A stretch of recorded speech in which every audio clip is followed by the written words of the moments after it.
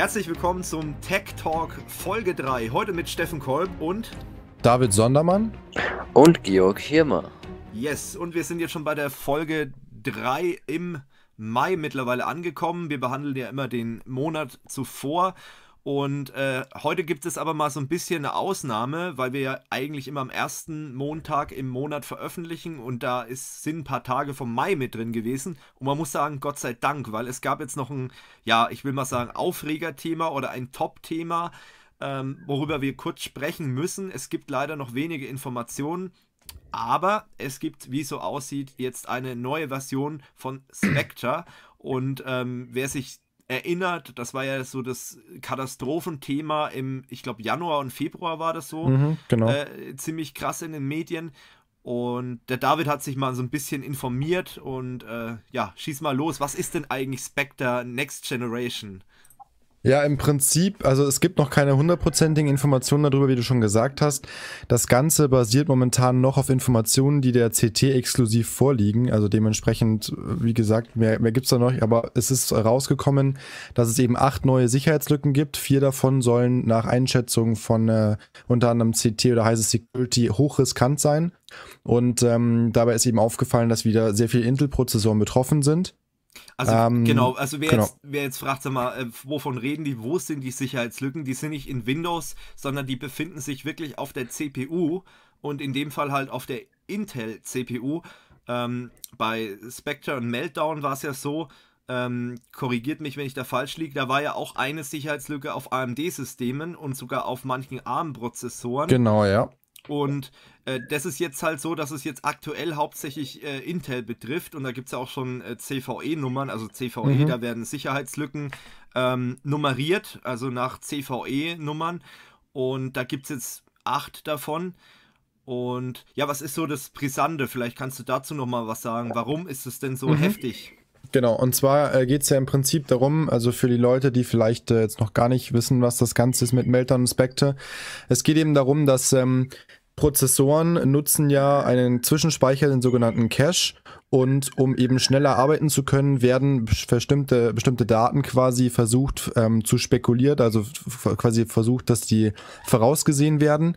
Und äh, man kann sich das ähnlich vorstellen, irgendwie, man hat irgendwie eine Stammkneipe und der Wirt weiß halt schon genau, welche Uhrzeit du auftauchst und was für ein Bier du trinken willst und stellt dir das halt quasi schon an den Tisch, wo du immer sitzt. Blöd gesagt, passiert das in der CPU, ja, also wird irgendwie predicted, dass da in dem Kästchen, in dem Speicherabschnitt eine 7 steht. Und wenn das halt nicht der Fall ist, ähm, dann muss das Ganze halt rückgängig gemacht werden.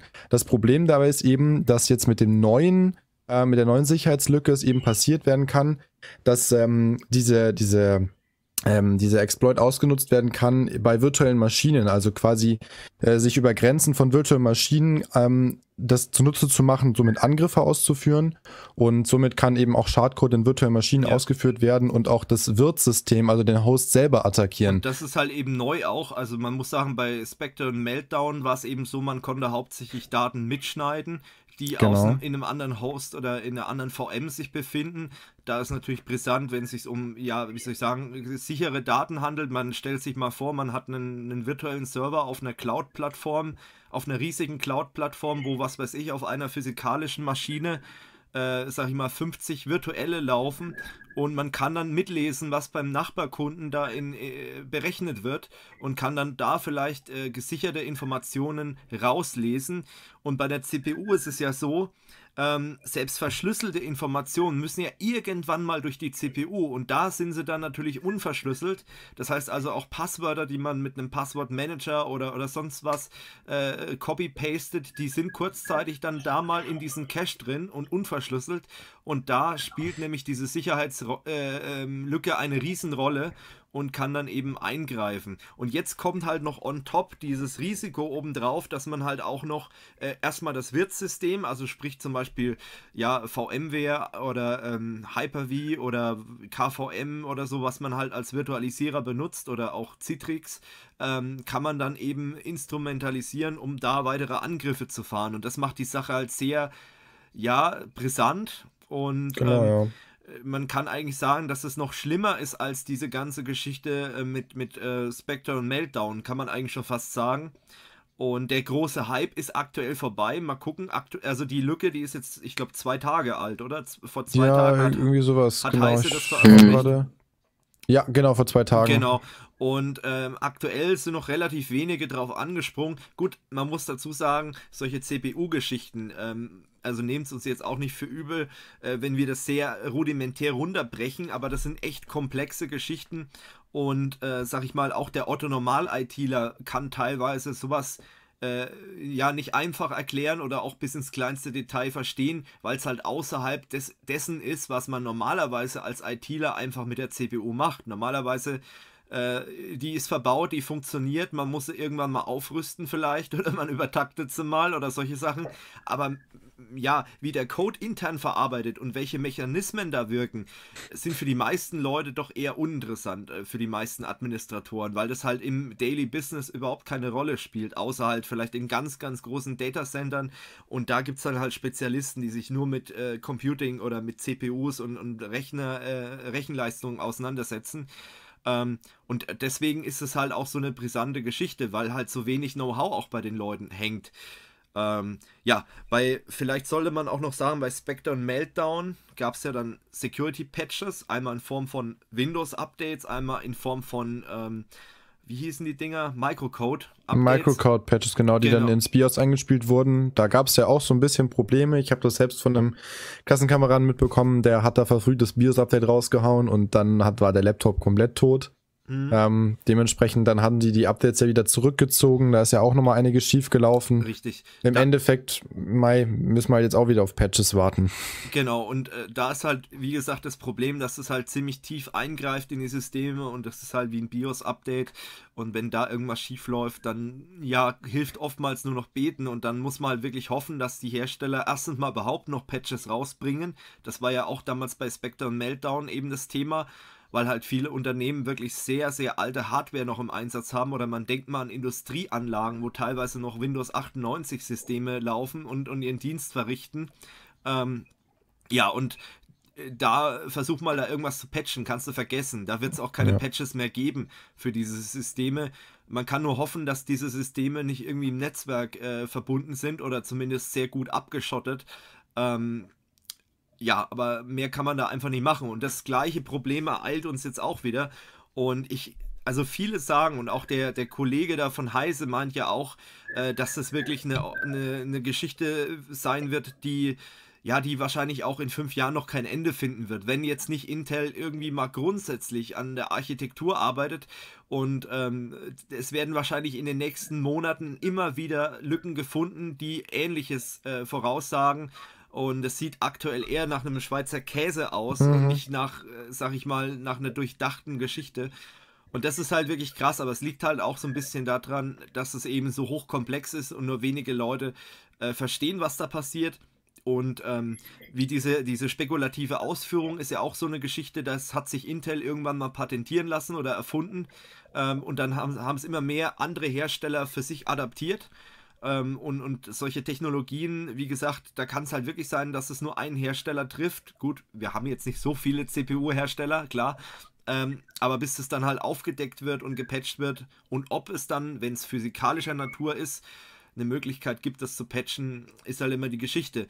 Ähm, auch bei Meltdown und Spectre, bei der alten Version war es ja so, man hat das wirklich nur verhindert über Softwaremechanismen, aber der Fehler ist immer noch da, weil er wirklich ja, im, im, genau in der Hardware sozusagen eingegossen ist. Und das wird wahrscheinlich jetzt auch mit den nächsten gefühlten 100 Lücken passieren. Jetzt aktuell sind es 8, die bekannt sind. Ähm, ja, und da müssen wir einfach abwarten. Aber das ja, das große Problem ist halt jetzt auch, ich meine, wie du schon gesagt hast, ist ja in der Hardware quasi das Problem. Diese ganzen, äh, diese ganze, dieses CPU-Design, das entsteht ja nicht irgendwie in einem Jahr, sondern das ist Nein. ja jahrelange Vorarbeit. Also ich, wo wir hatten Anfang des Jahres jemanden von Intel da und der hat uns das ja gezeigt. Also die entwickeln ja jetzt schon irgendwie für 2025. Das ist ja ein mega langer Prozess und ja. jetzt halt einfach mal alles über den Haufen zu werfen, ist halt schwer. Und ich meine, ja, ich habe heute, heute Morgen noch einen interessanten Kommentar auch unter dem Heise-Artikel dazu gelesen.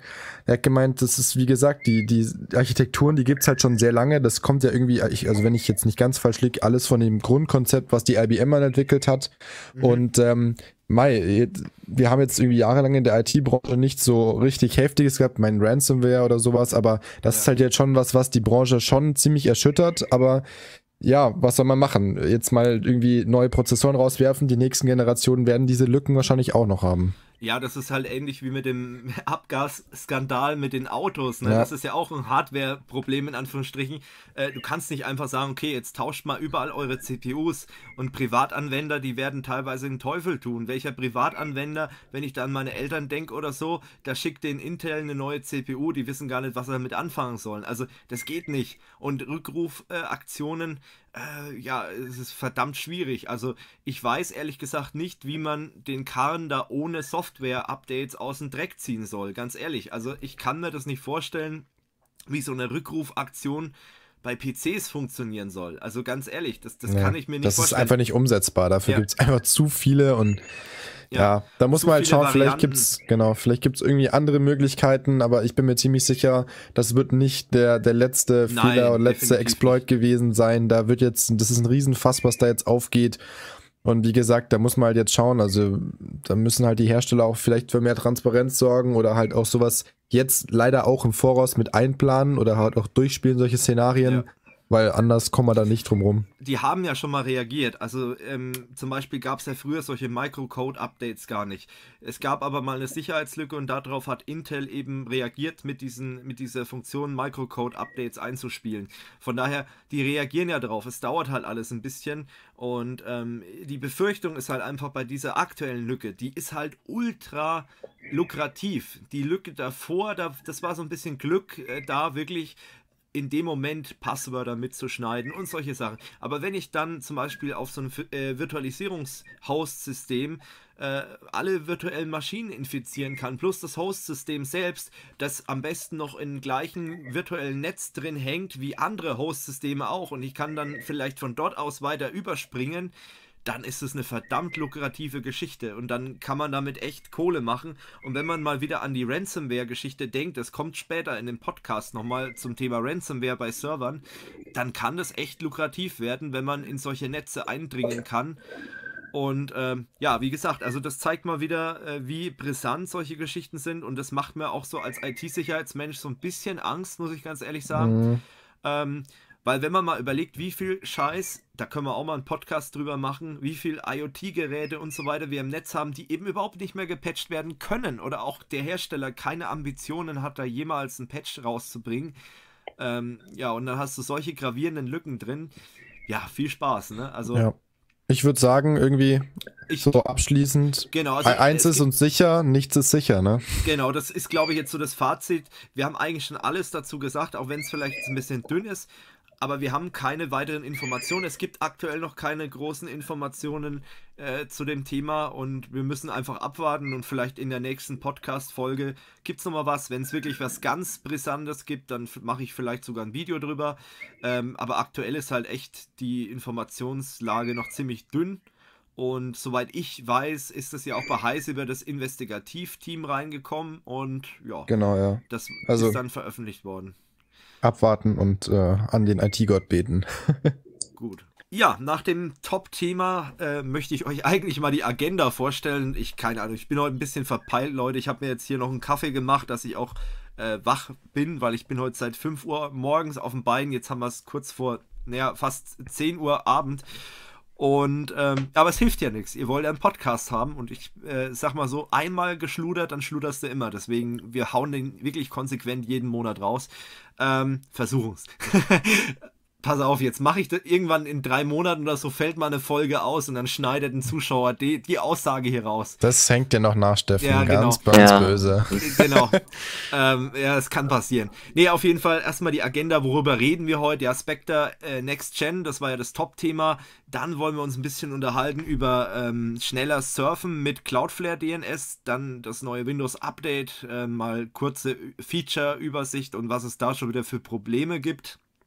Ähm, bleibt ja nicht aus. Äh, dann die neue Cebit, die ist ja schon im Juni. Klar, wir hätten jetzt noch ein bisschen Zeit gehabt, äh, bis wir drüber reden, aber äh, nächsten Monat ist auch schon wieder ausgeplant. Erfahrt ihr am Ende warum. Ähm, und dann habe ich mal so ein paar Security-Fails ähm, gesucht. Die habe ich zusammengesucht, da wusste ich noch nicht, dass wir sowas Großes wie äh, Spectre Next Gen dabei haben. Ähm, wie gesagt, die Folge ähm, soll diesen Monat eigentlich ein bisschen anders sein, weniger Security-lastig, aber irgendwie, das ist jeden Monat ist irgendwas. Das ist krass. Also ähm, gut, vielleicht sind wir dann irgendwann wirklich nur noch IT-Security-Channel. Ich weiß es nicht. Wenn es so weitergeht, das ist echt krass. Ähm, ja, und dann, am Ende wollte ich mit euch, oder ja, mit, mit euch beiden vielmehr, äh, noch mhm. ein kleines Quiz spielen. Ähm, oh und das fand ich ganz, ja, oh. ich fand es ganz witzig. Ähm, da geht es um JavaScript und Metal-Bands. Ähm, leider ist der ähm, okay. Tobi heute nicht dabei und, und Felix ist auch nicht dabei, aber äh, wie gesagt, äh, Metal, da kennst du dich auch ein bisschen aus, David und Georg, mhm. naja, kriegen wir schon. Ähm, ja. Genau, wie gesagt, am Ende da noch ein paar Ankündigungen. Da gibt es ein bisschen was äh, zum, zur nächsten Folge. Da könnt ihr zum einen ein bisschen mitbestimmen, was, was kommen wird. Äh, und zum anderen wird sich organisatorisch ein bisschen was ändern. Ja, im Großen und Ganzen der Tech Talk. Und als nächstes Thema haben wir das Thema Cloudflare DNS. Ähm, das habe ich mir rausgesucht, weil ich fand das eigentlich ganz, ganz interessant. Äh, und mich nervt es so ein bisschen ähm, dass halt immer mehr ähm, Hersteller da in diesen Markt reingehen und meinen, sie tun den Usern irgendwas Gutes und machen eigentlich alles schlimmer, als, äh, als es äh, vorher war. Äh, vielleicht erstmal die Erklärung, was ist überhaupt ein DNS? Also was ist ein DNS-Server? Wie funktioniert das Ganze? Ähm, das Internet besteht ja, oder Internetkommunikation besteht ja äh, aus IP-Adressen. Das heißt also, eine IP-Adresse kommuniziert mit einer anderen IP-Adresse. Kann man vielleicht wie eine Telefonnummer vergleichen. Ähm, wenn ihr allerdings zum Beispiel im Webbrowser www.kursoforyou.com oder google.de eingebt, dann gebt ihr ja einen Namen ein und keine IP-Adresse, was weiß ich, 104.83.24.80 oder so, sondern ihr gebt ja wirklich einen Namen ein. Und das macht eigentlich DNS. Also DNS sorgt dafür, dass aus dieser äh, aus diesem Namen eine IP-Adresse wird, mit der dann halt auch euer Router und das Internet was anfangen kann. So. Und ähm, das vorneweg. Und sogenannte DNS-Server oder Resolver, die sorgen halt eben dafür, dass sowas äh, umgesetzt wird. Und äh, für gewöhnlich, wenn ihr einen DSL-Anschluss habt oder einen Internetzugang, bekommt ihr so einen äh, DNS-Server vom Provider mit. Zum Beispiel von der Telekom. Ähm, die Telekom DNS-Server, die haben zum einen den Vorteil, dass sie halt direkt im gleichen Netz hängen wie euer Internetanschluss. Das macht die schon mal bei gewissen Sachen sehr schnell. Zum Beispiel bei Websites, die halt, ähm, wie soll ich sagen, die aus dem Telekom-Netz relativ häufig abgefragt werden. Also wir reden jetzt halt zum Beispiel von den üblichen Sachen, die die Telekom selber anbietet natürlich, aber auch von so Sachen wie Facebook oder Google oder so, die werden ja von fast jedem Haushalt mehrmals angefragt am Tag. Ähm, da sind die wirklich gut. Ähm, wo die allerdings ein bisschen Performance-Probleme haben, sind halt dann bei, ist halt bei anderen Seiten. Ich will es jetzt nicht Performance-Probleme nennen, ich will es einfach, äh, ich sag mal so, es sind halt ein bisschen langsamer. Und ähm, wenn man halt sehr viel im Web surft, dann irgendwann merkt man das mal, oder wenn man ITler ist sowieso, dann, dann irgendwann denkt man, oh, was ist da los? Ähm, und wenn man das Ganze ein bisschen tunen will, dann setzt mal einen alternativen DNS-Server ein. Da gibt es zum Beispiel von Google einen, ähm, der äh, ist sehr bekannt. Der hat nämlich als IP-Adresse ähm, viermal die 8 und ähm, was war das andere? Ich glaube viermal die 4. 8844 oder sowas? 8844, irgendwie sowas. Ich glaube, ist der zweite genau. DNS-Server. Das ist relativ bekannt. Ähm, das ist ja alles gut. Also Google, der Google DNS, der ist wirklich super hat einen Nachteil, das ist halt das Datenschutzproblem. Also das heißt, da wird sehr viel gespeichert, sehr viel ausgewertet etc. Und es ist halt Google, muss man halt ehrlich mal sagen. So, und dann gibt es Anbieter und das sind die, die mich so ein bisschen auf die Palme treiben. Äh, die wollen uns mit diesen DNS-Servern Mehrwert verkaufen. Was, be was bedeutet das? Das sind zum Beispiel Security-Hersteller, die Virenschutzlösungen vertreiben oder ähm, ja andere Security-Lösungen vertreiben und die sagen halt, ja, wir schützen euch vor Malware über diesen DNS-Server. Das heißt also, die würden dann eine Domain rausfiltern, die Malware beinhaltet, sagen sie, oder Phishing. Problem an der Geschichte ist aber, dass die Performance ziemlich drunter leidet. Also wenn jemand sowas einsetzt, zum Beispiel Symantec hat so ein Teil. Und da kann ich aus eigener Erfahrung sagen, ich habe das in einem Firmennetzwerk mit mehreren hundert Usern ausprobiert. Ihr habt alle zwei Tage irgendwelche False Positives, dass sich Leute im Helpdesk melden und sagen, ey, ich kriege eine Internetseite nicht auf. Äh, und das ist dann wirklich, hat sich, stellt sich dann raus, dass die Internetseite eigentlich harmlos ist, aber die ist irgendwie gefleckt bei... Ähm, bei Symantec. Und ganz besonders kurios war der Fall, äh, dass eine Website nur zur Hälfte geladen hat oder, oder Teile der Website nicht äh, funktioniert haben. Das war so ein Online-Shop und da hat der Bezahlen-Button nicht funktioniert, weil der Server, auf dem der Bezahlen-Button war, der wurde gefleckt von äh, Symantec und geblockt. Das heißt also, die haben bestellt und sind dann irgendwann nicht mehr weitergekommen. Und du suchst im Netzwerk und du guckst nach, äh, ob auf der Firewall irgendwas blockiert wird und so weiter, vermutest den Webbrowser und dann stellt sich raus, dass dieser scheiß DNS-Server einfach diesen blöden Button blockiert hat. Und das ist eben das, wo ich sage, da wird das Ganze verschlimmbessert. Leute, wenn ihr euch vor Malware schützen wollt, erstmal Brain Exe, Nummer 1, zweitens mal Virenscanner, drittens mal Updates einspielen. Und das ist wirklich wirkungsvoll gegen solche Sachen, aber nicht ein DNS-Server, der sowas blockieren soll. Oder auch andere Geschichte, es gibt DNS-Server, die Werbung rausblockieren. Die lösen dann zum Beispiel solche Bannerwerbung falsch auf mit einer anderen Domain, dadurch wird die im Browser nicht mehr angezeigt. Problem ist allerdings, dass manche Browser darauf warten, dass da was angezeigt wird und es dann nicht funktioniert. Und dadurch entstehen dann wiederum andere Probleme. Also glaubt mir, es gibt aktuell keinen guten ähm, ja, Schutz-DNS-Server, der euch wirkungsvoll vor Malware schützt, wo er dann sagt, ich brauche auf dem Rechner nichts mehr zu installieren, einen On-Access-Wächter oder sowas, das könnt ihr vergessen. So, lang genug über diese anderen Dinge rumgehatet. Was macht jetzt Cloudflare besser? Einmal Privacy, das heißt, Cloudflare ist, muss man sagen, US-amerikanisches Unternehmen, ist einfach so. Ähm, aber sie sagen, die ähm, IP-Adressen werden nirgendwo gelockt, also eure Anfragen, und die werden sieben Tage, und das ist normal für ISPs, im RAM vorgehalten. So. Das ist schon mal die eine Geschichte und die werden und, und Cloudflare kann dann nicht ran an die IP-Adressen. Und das andere ist, Cloudflare ist ja ein Content Delivery Netzwerk und DDoS Protection Provider. Ähm, die haben überall, ich glaube, über 150 Rechenzentren weltweit mittlerweile. Allein in Deutschland sind es, glaube ich, vier. Ähm, und dadurch sind die relativ nah an eurem Netz. Und die versuchen natürlich auch zu jedem Internetprovider möglichst gute Anbindung zu haben. So, das ist der nächste Punkt. Und das macht die Sache einfach besser als euer Telekom DNS, als euer ähm, DNS von, von Vodafone oder wie sie alle heißen, ähm, weil die eben so gut verbunden sind mit der ganzen Welt habt ihr geringere Reaktionszeiten. Und ähm, es haben jetzt schon mehrere Webseiten Benchmarks gemacht. Ich habe auch mal ein Tool runtergeladen und habe mal mehrere DNS-Server gegenübergestellt. Die von Google sind auch sehr schnell. Allerdings ist Cloudflare immer einen Ticken schneller als die anderen und dadurch laden halt Seiten wirklich schneller. Ich meine, wenn ihr sowieso ein Problem mit eurem Internetanschluss habt, also was weiß ich, ihr habt ziemlich langsamen DSL-Anschluss, gell, Georg? Ja.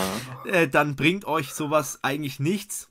Aber wenn ihr jetzt, sag ich mal, DSL 16.000 oder höher habt oder Glasfaser oder was weiß ich, dann merkt man es durchaus und im Unternehmensumfeld ist das wirklich grandios, wie schnell, also wenn man jetzt wirklich eine, eine Standleitung hat mit Glasfaser, dann ist es irre, wie schnell die Seiten auf einmal reagieren. Das sind so Sachen, wie gesagt, das ist Jammern auf hohem Niveau, weil normalerweise ist der, DNS von eurem Internet Service Provider auch okay. Der ist auch schnell, der ist nicht wirklich langsam, hoffentlich, außer halt im Störungsfall. Dafür hat man ja auch immer zwei werden da eingetragen. Cloudflare hat auch zwei. Ähm, und ja, aber es ist halt, wie, wie, gesagt, spürbar schon. Wenn man weiß, dass der neue drin ist, dann spürt man schon den Unterschied. Und das macht dann echt was aus. Was man vielleicht noch dazu sagen könnte oder muss, die IP-Adresse lässt sich auch super merken. Das ist die viermal die 1. Und Cloudflare hat das Ganze am 1. April gelauncht. Und das war, glaube ich, ein sehr dummes Datum, weil jeder hat gedacht, das ist ein April-Scherz. Und mit der IP-Adresse vor allem. Ich habe dann auch erstmal angefangen, äh, in der, in der RIPE-Datenbank nachzugucken, ob die IP-Adresse wirklich Cloudflare gehört. Und dann wusste ich, okay, das ist kein April-Scherz. Aber so viele Leute haben gedacht, okay, äh, das ist ein April-Scherz, weil ja Cloudflare normalerweise sowas nicht macht. Man muss allerdings dazu sagen, Cloudflare macht das natürlich auch nicht nur, weil sie sagen, okay, wir wollen uns das Internet verbessern oder die, die uh, Usability, sondern die wollen damit natürlich auch Angriffsdaten äh, sammeln, weil Cloudflare möchte seine eigenen Kunden vor Angriffen schützen, sei es jetzt DDoS-Angriffe und so weiter. Und das können die halt auch, wenn sie zum Beispiel solche ähm, Profile erstellen, aber es wird nicht verwendet, um zum Beispiel äh, Werbung auszuspielen, was ja bei Google der Fall ist. Also die werten das nicht aus und, und versuchen euch da Banner anzuzeigen, sondern bei Cloudflare steht eher der IT-Security-Gedanke im Hintergrund, aber es wird nichts gefiltert. Und da sind wir wieder bei dem Punkt, wo halt Symantec und Komodo und wie sie alle heißen, völlig in, äh, falsch liegen, weil die versuchen da aktiv was rauszublocken. Auch IBM hat vor ich glaube, ich weiß nicht, hast du es mitgekriegt, David oder Georg, mit diesem Quad 9? Äh, das war ja auch mal vor einiger Zeit. Ja. Da hat, irgendwo ja, da hat IBM, hat IBM auch einen eigenen DNS-Dienst gelauncht und die wollen da auch irgendwelche Sachen rausblocken. Ähm, ja, Leute, tut euch das nicht an. Ihr habt Probleme, ihr wisst gar nicht, wo die Probleme herkommen und ähm, die gehen dann auch komischerweise irgendwann wieder von allein, wenn genügend Leute den False Positive melden das ist halt echt saunervig. Also diese Technik, entweder ist sie noch nicht ausgereift oder es ist aus meiner Sicht aktuell der falsche Weg, um Malware vom System fernzuhalten. Muss ich ganz ehrlich sagen. Bin ich voll bei dir und ähm, ich halte davon auch nichts, weil die Idee von dem DNS-System ist ja auch gar nicht dafür gedacht gewesen ursprünglich oder eigentlich gar nicht für gedacht. Ich meine, schön, dass man es so nutzen kann, aber das ist auch ja. in meiner, meiner Ansicht absolut der falsche Weg. Da gibt es genug andere Möglichkeiten und äh, Dementsprechend, der soll einfach Namensauflösung machen, das kann er gut. Und genau. das, und das, das ist alles schnell auch. Genau. Und das ist ja auch der Grund, also sag ich mal, warum, äh, warum das da keinen Sinn macht, sowas zu implementieren. Weil wenn ich dann erst gegen eine Datenbank jedes Mal prüfen muss, ob da irgendwie äh, dass diese Seite gemeldet wurde oder irgendwas, da verliere ich wertvolle Zeit äh, und, und das macht sich halt dann echt bemerkbar. Und Wie du es selber ja schon gesagt hast, dann suchst du an dem Ende, dann an dem Ende und dann stellst du nach fünf Stunden Suche, die nichts gebracht haben, fest, ach so, es war ja dann doch nur der DNS, der irgendwas teilblockiert. Genau. Ich kenne es selber, du suchst dir einen Wolf und dann im Endeffekt hast du halt fünf Stunden verschenkt für nichts. Genau. Und äh, was man vielleicht noch sagen kann, also ich habe das jetzt ziemlich lang getestet. Ähm, ich meine, viele wissen vielleicht auch, dass hinter Kurs of You mittlerweile auch ein IT-Dienstleister steckt, ein kleiner. Und bei unseren Kunden ist es mittlerweile jetzt auch implementiert. Also alle äh, Hosting-Kunden bei uns nutzen auch schon den aktuellen DNS-Dienst von Cloudflare und ähm, auch Kunden, die zum Beispiel ihr Unternehmensnetzwerk ähm, mit unserem System verbunden haben, die können auch schon davon profitieren. Äh, jetzt könnte man sagen, ja, warum tragen die nicht direkt den äh, Cloudflare DNS ein? Naja, wir haben noch eigene DNS-Namen äh, natürlich, die wir selber auflösen.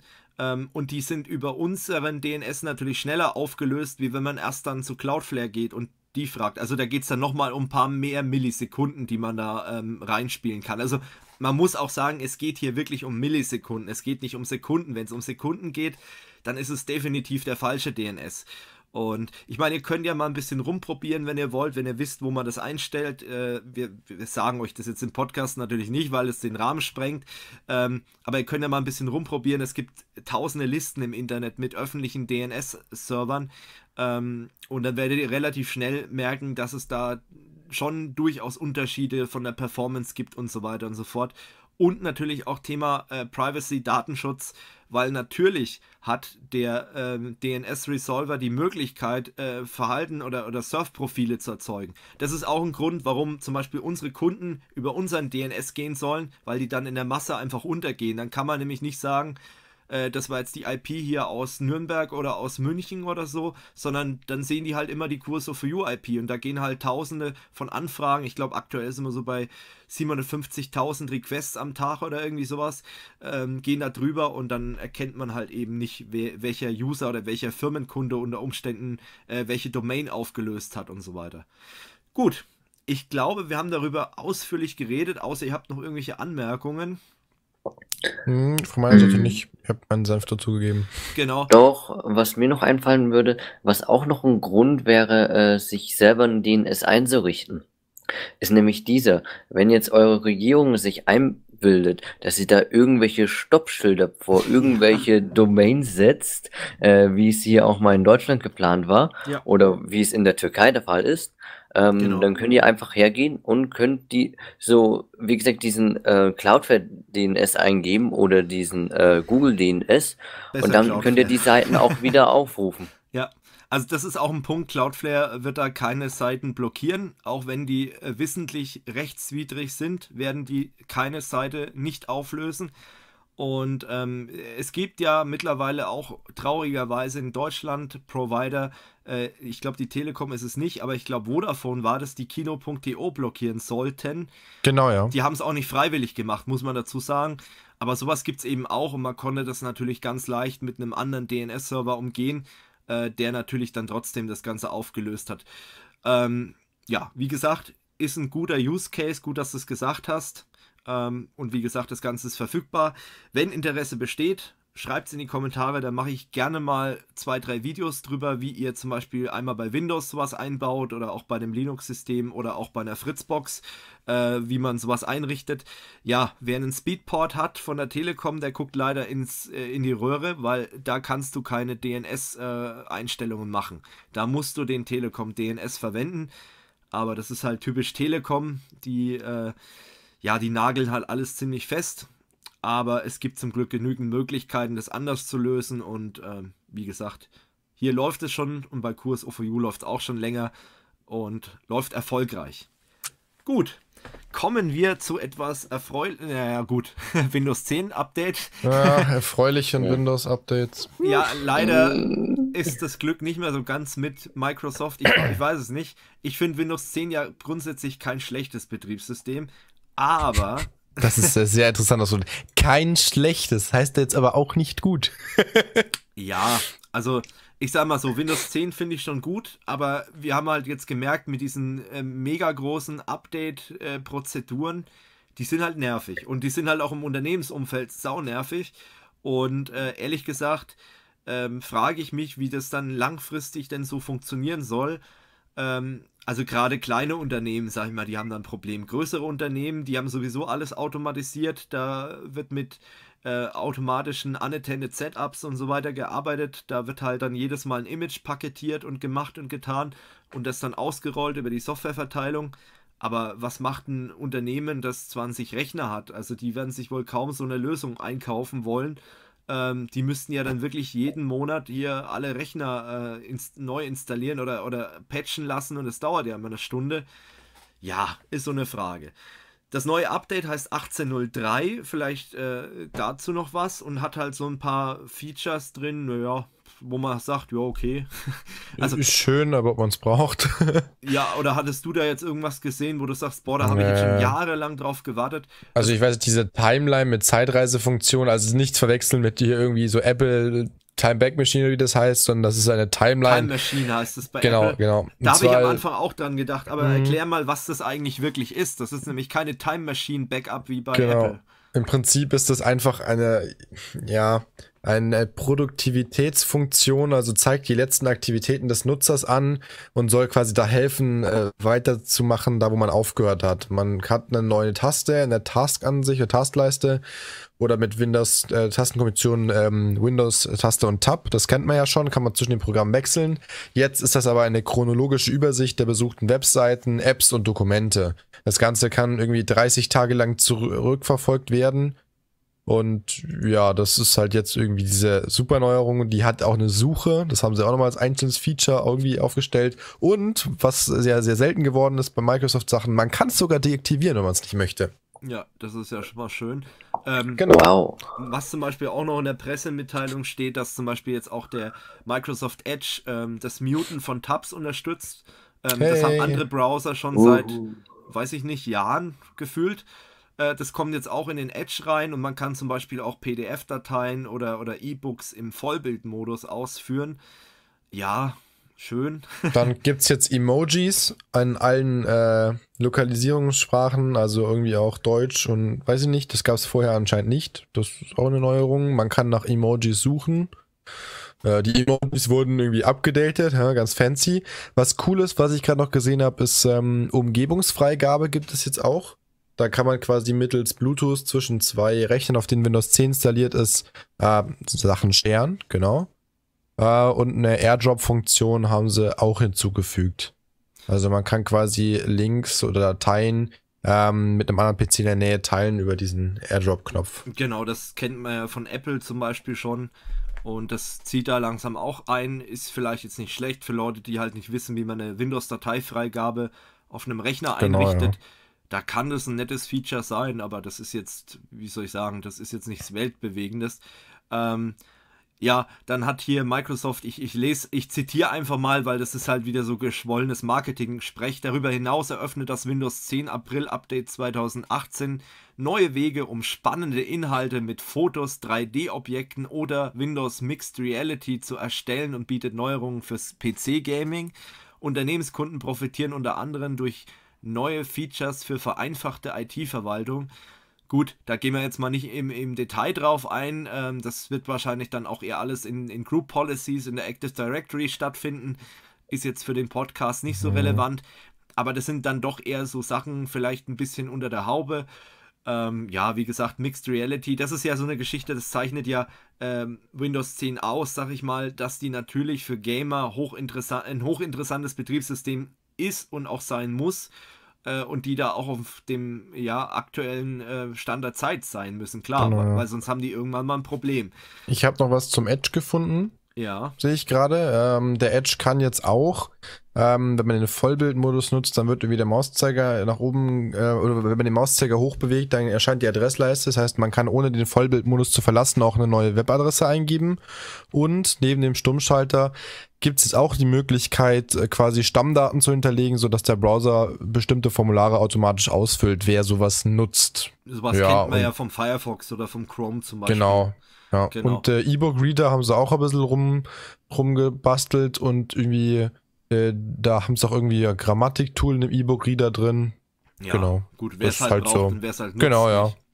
Ähm, was man vielleicht noch dazu sagen sollte, ähm, das Update äh, ist ab dem 30. April schon verfügbar gewesen als ISO-Download, also dass man sich da die äh, Installations-CD runterladen konnte oder DVD besser gesagt. Und der weltweite Rollout findet ab dem 8. Mai statt. Äh, lustigerweise habe ich schon ein Update bekommen. Ich habe es gestern installiert, habe vorher zum Glück ein Backup gemacht. Ich habe es aber zum Glück nicht äh, gebraucht. Ähm, aber ich hätte es und ich habe auch nach dem ersten Reboot schon die ersten Fehler gehabt, dass irgendwelche, äh, ja, war witzig, ich habe dieses Benachrichtigungsfenster aufgemacht und da standen dann irgendwelche Umgebungsvariablen drin und äh, nicht wirklich der Name von den oh äh, Sachen, die da geöffnet werden sollen. Ist allerdings jetzt weg. Also der Fehler ist jetzt weg, keine Ahnung, äh, vielleicht war das nur nach dem ersten Reboot, ich weiß es nicht äh, man liest ja auch, da hast du vorhin auch erwähnt, äh, massenhaft irgendwie, dass, dass Nvidia-Grafikkartentreiber nicht mehr funktionieren. Generell Grafikkartentreiber, also sollen irgendwie ja. auf jeden Fall die neuesten gezogen werden, weil es Probleme gibt.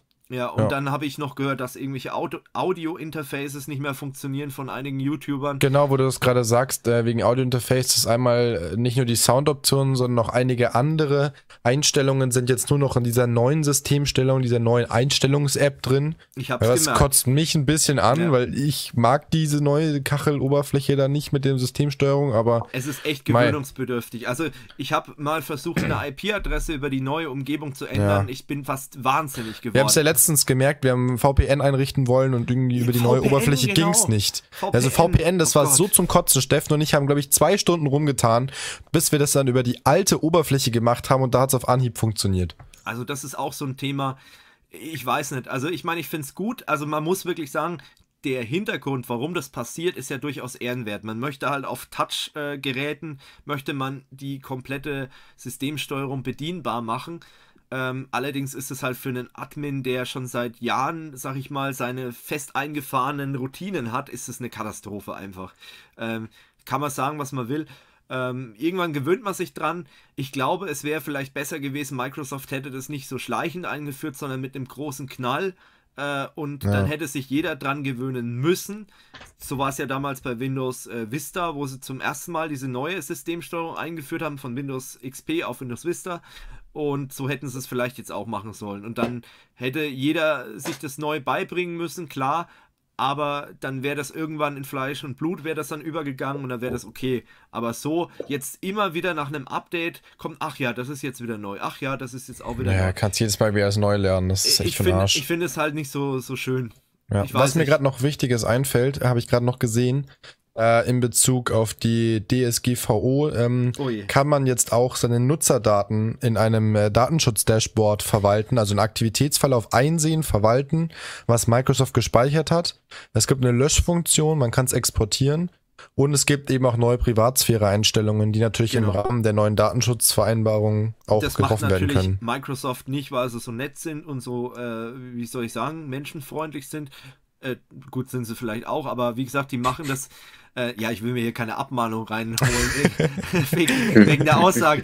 Nee, ähm, äh, wie gesagt, das müssen sie halt machen, wegen der DSGVO. Das ist jetzt nichts, was die unbedingt freiwillig machen. Ja. Ähm, was ich auch gemerkt habe, du wirst nach dem Update erstmal gefragt, dann äh, wegen den Telemetriedaten und so weiter, was genau, du schicken ja. möchtest und so weiter und so fort.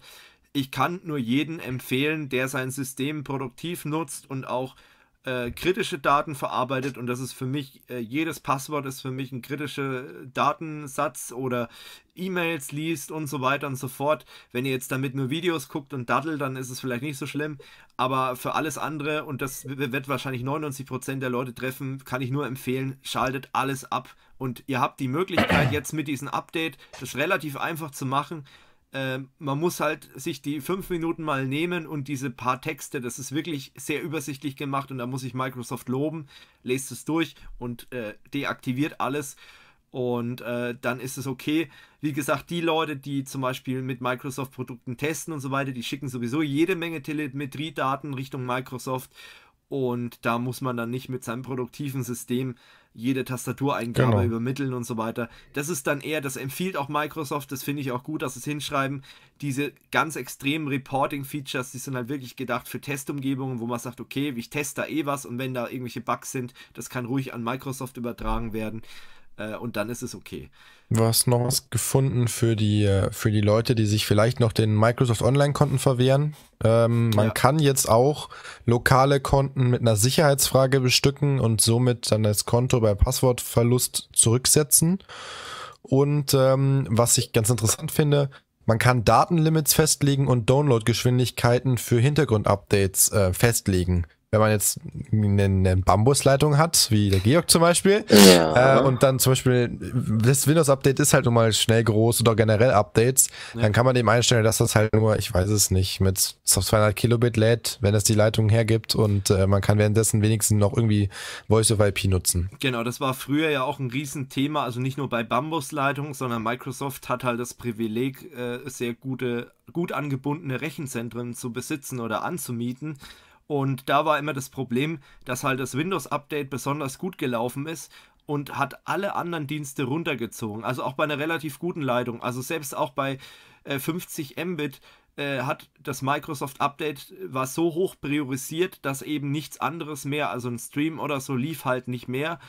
Äh, außer er lief über Akamai, weil Akamai liefert halt auch die Windows-Updates aus und die können das dann ein bisschen besser äh, load balancen. Aber da war immer das Problem, dass dann halt wirklich gar nichts mehr ging.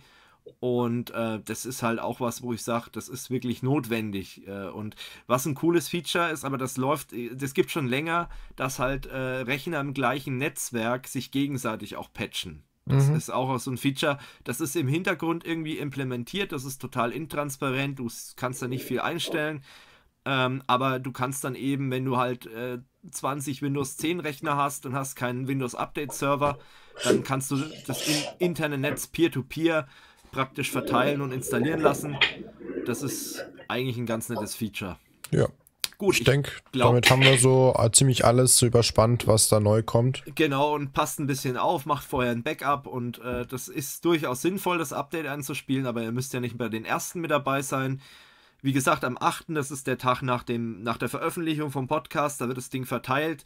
Ihr könnt auch in der Systemsteuerung deaktivieren bei der Pro-Version, dass es sofort installiert wird. Da kann man das, äh, ich glaube, bis zu einem halben Jahr oder Jahr rauszögern, dieses äh, Update. Microsoft bringt für diese Versionsupdates immer ein Jahr lang Sicherheitsupdates raus. Ähm, und dann könnt ihr das dann eben nachziehen, wenn ihr dann auch sicher seid, dass eure ganzen Grafiktreiber und was weiß ich, äh, Interfa Sound-Interface-Treiber und was weiß ich, was ihr alles habt, äh, funktionieren. Genau. Gut. Wunderbar. Ich glaube, dann haben wir das Thema damit auch abgefrühstückt. Genau, dann kommen wir zum nächsten Thema und das ist die Cebit und äh, die steht ja wieder an dieses Jahr und ich muss schon ein bisschen schmunzeln, ähm, weil ja, die Cebit ist ja, also wer es nicht kennt, das ist so eine IT-Messe und ist, glaube ich, sogar die, die weltgrößte IT-Messe. Die findet in Hannover statt jährlich und die war eigentlich früher immer so im März. Und Kurs of You, also wer uns jetzt erst vor kurzem abonniert hat, hat früher auch immer von der CeBIT berichtet. Also CeBIT 2013, 2014, 2015, 16 glaube ich mhm. dann schon nicht mehr. Mhm. Ich weiß es nicht genau. Ähm, 16 waren wir nicht mehr. Genau, waren wir dann nicht mehr. Äh, und das aus gutem Grund. Ich erkläre vielleicht mal warum. Ähm, weil die CeBIT sich immer mehr äh, ja, verschlossen hat gegenüber normalen Endkunden und, sag ich mal, kleinen und mittelständischen Unternehmen. Die CeBIT ist immer mehr zu so einem ja, Treffen von Anzugträgern und von Geldköffern geworden und auch wirklich nur von Vertrieblern. Technische Fragen waren da teilweise wirklich unerwünscht. Und deswegen habe ich dann irgendwann mal gesagt, hey, das hat überhaupt keinen Sinn mehr, da hinzugehen. Und äh, ja, euch Zuschauer hat es damals dann auch nicht mehr so interessiert. Und das war dann auch okay, weil mich hat es persönlich dann auch nicht mehr so interessiert. Und es haben auch einige Hersteller und einige große Hersteller sogar gesagt, wir gehen da nicht mehr hin. Und ich weiß zum Beispiel von einem Vertriebler, ich sage jetzt mal nicht von welchem Hersteller das ist, aber von einem Vertriebler weiß ich zum Beispiel, dass so ein, ja, normaler Standaufbau, sag ich mal, also ganz normaler Stand von der, von der Firma, sag ich mal, die so um die, ja, so 500, 600 Mitarbeiter hat, ähm, und äh, kostet dann auf der Cebit einfach mal 2 Millionen Euro eine Woche lang. Dass das ja. Geld natürlich so schnell nicht mehr reinkommt, das ist ja wohl klar. Also, äh, und dann muss ich ganz ehrlich sagen, kann ich die Unternehmen verstehen, dass sie dann sagen, hey, wir gehen da nicht mehr hin. Und ich meine, nur um die ganz Großen zu treffen, da muss ich nicht auf die Cebit gehen, da kann ich zum Beispiel auch auf die Hausmessen gehen. Also nehmen wir mal eine Microsoft oder auch eine SAP oder so, die haben alle Hausmessen äh, wo man sich auch informieren kann. Äh, oder eine VMware zum Beispiel, die VM World gibt es ja. Und das war dann so der Grund, wo uns auch so ein bisschen bewegt hat und dann haben wir gesagt, nee, das macht keinen Sinn und halt immer mehr der, der Weg Richtung Enterprise Business, gar nicht mehr Small Business und, und äh, Mittelstand, sondern wirklich nur noch Enterprise-Kunden und möglichst auch nur noch mit den Leuten sprechen, die mit einem Anzug und einem Koffer auf der Messe rumlaufen, weil da kann man dann auch gute Absätze machen und die Leute, die halt wirklich technische Fragen haben, naja, die sind zwar geduldet, aber äh, es ist halt ein notwendiges Übel. Und für Privatkunden war die Messe sowieso dann irgendwann dicht. Und jetzt gibt es 2018 einen Relaunch von der Messe. Und die Messe hat jetzt äh, super fancy Ideen. Ähm, also es geht zum Beispiel damit los, dass sie jetzt einen neuen Titel haben. Europas Business Festival für Innovation und Digitalisierung. Bingo! Genau. Oh. ja, also, Bullshit Bingo. Genau. Da werden die, die, Buzzwords nur so durch den Raum geballert. Und ähm, ja, also da geht es halt wirklich darum, dass zum Beispiel Bands auftreten, DJs auflegen, ähm, eine lustige Atmosphäre ist, alle am besten im T-Shirt rumlaufen und oh, mit Flipflops. Und da bin ich echt mal gespannt. Ich kann dieses Jahr nicht versprechen, dass ich hingehe. Ich werde es versuchen. Äh, ich werde nicht filmen, aber wir werden im Podcast drüber reden. Ich bin wirklich hochgespannt, ob sich dieses ja, Klischee von der Cebit irgendwie auflöst und vielleicht alles ein bisschen moderner wird und ein bisschen, weil man muss auch wirklich sagen, die IT-Branche, klar, es gibt in der IT-Branche natürlich sehr trockene Firmen oder so, die halt wirklich sehr äh, wie, wie, konservativ kann man nicht sagen, aber sehr altbacken unterwegs sind und, und äh, aber es gibt auch verdammt viele junge Unternehmen, die eigentlich mit diesem Anzugträger-Image auf der CeBIT nicht viel anfangen konnten, weil die innovativsten Unternehmen, die oh, jetzt meine ich sehr unbeliebt, glaube ich. Die kommen alle aus dem Start-up-Bereich oder sehr viele, alle will ich nicht sagen, aber sehr viele innovative Unternehmen in allen Bereichen, im Serverbereich und so weiter, die kommen aus dem Start-up-Bereich und werden meistens von den großen Global Playern eingekauft. Ja. Ähm, und die können mit sowas überhaupt nichts anfangen. Und ähm, das hat man ja zum Beispiel auch gesehen. Äh, ich denke mal, das Interview mit äh, Lucky Cloud äh, auf der ITSA, da hat man auch gemerkt, dass es halt eben Startups sehr schwer haben auf solchen Messen. Ähm, und das ist halt so ein Ding, denke ich mal, da ist so ein Festival vielleicht doch nicht so verkehrt. Und ich glaube, die haben so ein bisschen abgeguckt von den Marketingmessen. Also es gibt ja diese Online-Marketing Rockstars, heißt die Messe. Ähm, das ist ja auch ähnlich. Da war dieses Jahr zum Beispiel Deichkind vor Ort und so, weißt du? Also das ist schon ganz witzig. Äh, okay. Und ähm, ich glaube, da haben sie sich so ein bisschen abgeguckt. Ich muss ganz ehrlich sagen, ich war noch nie auf so einer Messe. Also deswegen bin ich ultra neugierig, was da abgeht, wie das aussieht und vor allem, äh, weil die Cebit halt wirklich so hoch seriös war, seriös war das Wort, das ich vorhin gesucht habe, äh, bin ich mal gespannt, wie, wie das ganze Klima dann auf der diesjährigen Cebit ist. Ich würde sie gönnen, weil, wie gesagt, für mich war die Cebit nicht mehr attraktiv in den letzten Jahren und ich habe mich mal so ein bisschen im Bekanntenkreis umgehört äh, bei sehr vielen IT-Lern, die jetzt nicht gerade im Management tätig sind, sondern als Administratoren. Die haben alle gesagt, Cebit ist für mich kein Thema mehr, Cebit ist gestorben. Ach, das letzte Mal war ich vor zehn Jahren dort oder so. Und ich denke mal, dass es nicht gut ist, wenn nur Entscheider und, und äh, Manager dorthin gehen, sondern es sollten vielleicht auch Leute für den technischen Austausch dort sein. Das ist zum Beispiel was, das liebe ich an der ITSA äh, in Nürnberg da gibt es ja extra Foren für zum Beispiel Entscheider. Da sitzen die ganzen Leute im Anzug. Dann gibt es eben ein Forum für Techniker und dann gibt es noch ein Forum für Juristen. So, und das ist halt recht praktisch, weil dann kannst du halt dich wirklich, äh, wenn du Techniker bist, mit anderen Technikern austauschen. Oder du hast dann halt jemanden, der einen Vortrag macht, nicht nur um was zu verkaufen, sondern um auch Wissen zu übermitteln. Und das macht die Sache halt eben interessant. Und ja, das ist auf jeden Fall aus meiner Sicht wichtig. Und ich weiß nicht, Georg, du warst ja auch auf der Cebit schon ein paar Mal, zweimal, glaube ich, mit dabei. Oder einmal? Ich weiß es gar nicht. Ich glaube nur einmal. Genau. Aber du hast ja auch, denke ich mal, das so empfunden, dass es doch sehr, sehr businesslastig war und, und sehr, ja, seriös zuging, sagen wir es mal so. Definitiv. Also das war sehr, hm, weiß nicht. Genau. Und ähm, früher gab es ja auch noch die Intel Extreme Masters, die haben sie ja dann auch von der Messe verjagt, nachdem natürlich für Privatleute die Messe nicht mehr offen stand. AVM hat sich dann auch immer mehr verabschiedet, weil die gesagt haben, naja, wir machen Fritzboxen für Privatkunden und nicht für, für Businesskunden. Was wollen wir denn da noch da? Und das sind nur zwei äh, Unternehmen. Ne? Es gibt noch viel mehr Unternehmen, die sich das zehnmal überlegen. Und die Standpreise, die sind halt auch unter aller Sau. Also das kann sich ein Startup-Unternehmen schon mal gar nicht leisten. Dafür gibt es klar extra Bereiche für die Startups, okay. Äh, aber, äh, sag ich mal, ein mittleres Unternehmen hat da auch schon Schwierigkeiten. Die müssen auch dreimal überlegen, ob das sinnvoll ist. Und ich meine, das Messegelände in Hannover ist so weitläufig, so riesig. Ähm, das ist Wahnsinn und du gehst da leicht unter als Unternehmen.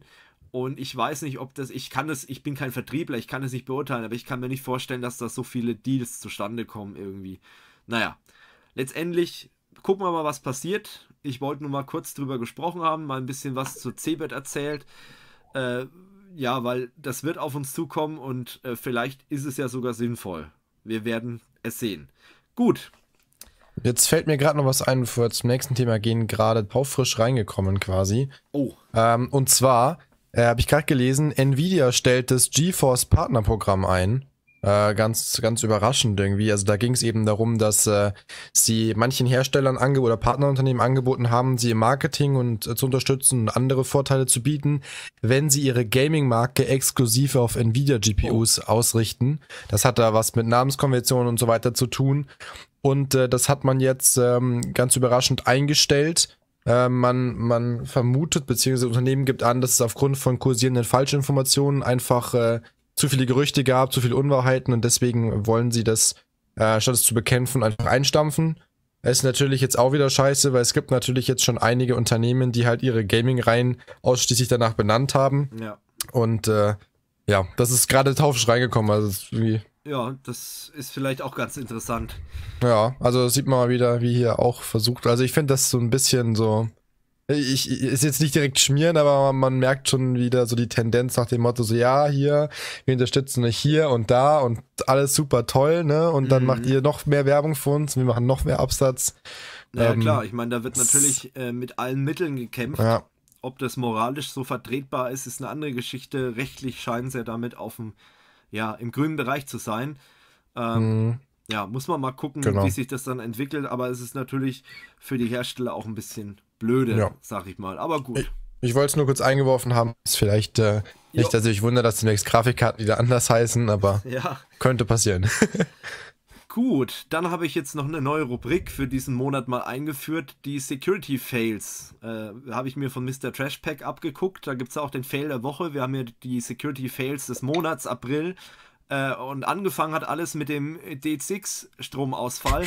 Äh, das ist natürlich auch so ein Ding. D6, wer nicht weiß, was das ist, das ist der deutsche Internetknotenpunkt in Frankfurt. Äh, wenn ihr irgendeinen Server aufruft, wenn ihr, was weiß ich, unsere Website aufruft, es äh, wird zum größten Teil alles über Frankfurt geroutet. Ähm, ja, und da war einfach mal ein Stromausfall und scheinbar haben die ganzen äh, im Detail hat man es leider nicht rauskriegen können, aber scheinbar haben diese ganzen äh, Mechanismen, Notstromaggregat, USV-Anlagen, Batteriepuffer etc. versagt. Äh, und es kam zu Ausfällen, zwar nicht komplett, aber äh, ein paar Router und ein paar Switches sind ausgefallen, die halt auch äh, sehr wichtige Verbindungen geroutet haben und dadurch kam es halt zu Beeinträchtigungen, dass Seiten langsam geladen haben oder halt eben auch gar nicht. Und der Google DNS, wenn wir wieder beim Thema DNS-Server sind, der war davon auch betroffen. Der Cloudflare DNS war davon nicht betroffen. Gut, ich will jetzt keine Werbung für Cloudflare DNS machen, aber ich, ich wollte es nur mal so anmerken. Ähm, woran lag das einfach? Das lag an, der intelligent, an dem intelligenten Routing einfach von äh, Cloudflare. Wie gesagt, die sind ein Content Delivery Network und auch ein DDoS Protection Service und die haben halt überall Rechenzentren und Connections und Peerings und was da alles dazugehört. Ja, und dadurch war das eben verfügbarer als die Google-Geschichte. Gut, ähm, dann gab es noch ein ganz nettes, äh, nette Geschichte mit einem Hack von äh, Notfall-Alarmsystem, also so Sirenen. Ähm, da geht es konkret um Sirenen, die zum Beispiel auch in Atomkraftwerken und äh, so, so Feuersirenen und so weiter angeht. Und da gibt es halt eine, eine, Sicherheitslücke. Und es gab letztes Jahr in äh, Dallas mal einen Hack. Ähm, ich glaube, das war ich habe es gerade offen, letztes Jahr sogar im April, genau 9. April letzten Jahres, da sind einfach mal in Dallas alle Feuersirenen in der Stadt angegangen. Ähm, Grund dafür war einfach halt eine Sicherheitslücke in dieser äh, Funkverbindung von diesen Alarmsirenen. Und ja, das ist jetzt alles veröffentlicht worden. Da gibt es ein sogenanntes Proof of Concept. Äh, da hat einer mal äh, dargelegt, auch mit einem YouTube-Video, ihr seht es gerade auch mal eingeblendet für die, die den Videopodcast verfolgen, ähm, äh, dass jemand relativ einfach über ein paar ähm, Tricks in diese Funkverbindung sich einloggen kann und dann eben diesen Alarm auslösen. Ist jetzt auch nicht so gut, vor allem wenn halt die Bevölkerung da ein bisschen verunsichert wird.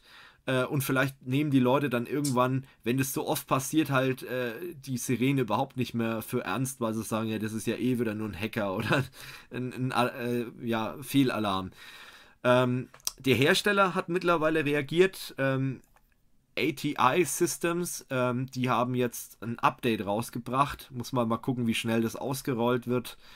Aber man sieht mittlerweile, Sicherheitslücken sind überall in allen möglichen Dingern drin, auch in Geräten, wo man eigentlich gar nicht für möglich hält, so Sirenen oder so. Mhm. Da hab, ehrlich gesagt, habe ich da überhaupt keinen Gedanken an sowas verschwendet. Bis dann die nächsten Smart-Herde kommen und dann auf einmal die Bude abfackelt durch eine Sicherheitslücke. ja. ja. Das ist IoT halt, ne? Genau. Yeah. Und vor allem auch noch über unverschlüsselte Funkverbindungen sowas auslösen zu lassen, ist schon ein bisschen riskant.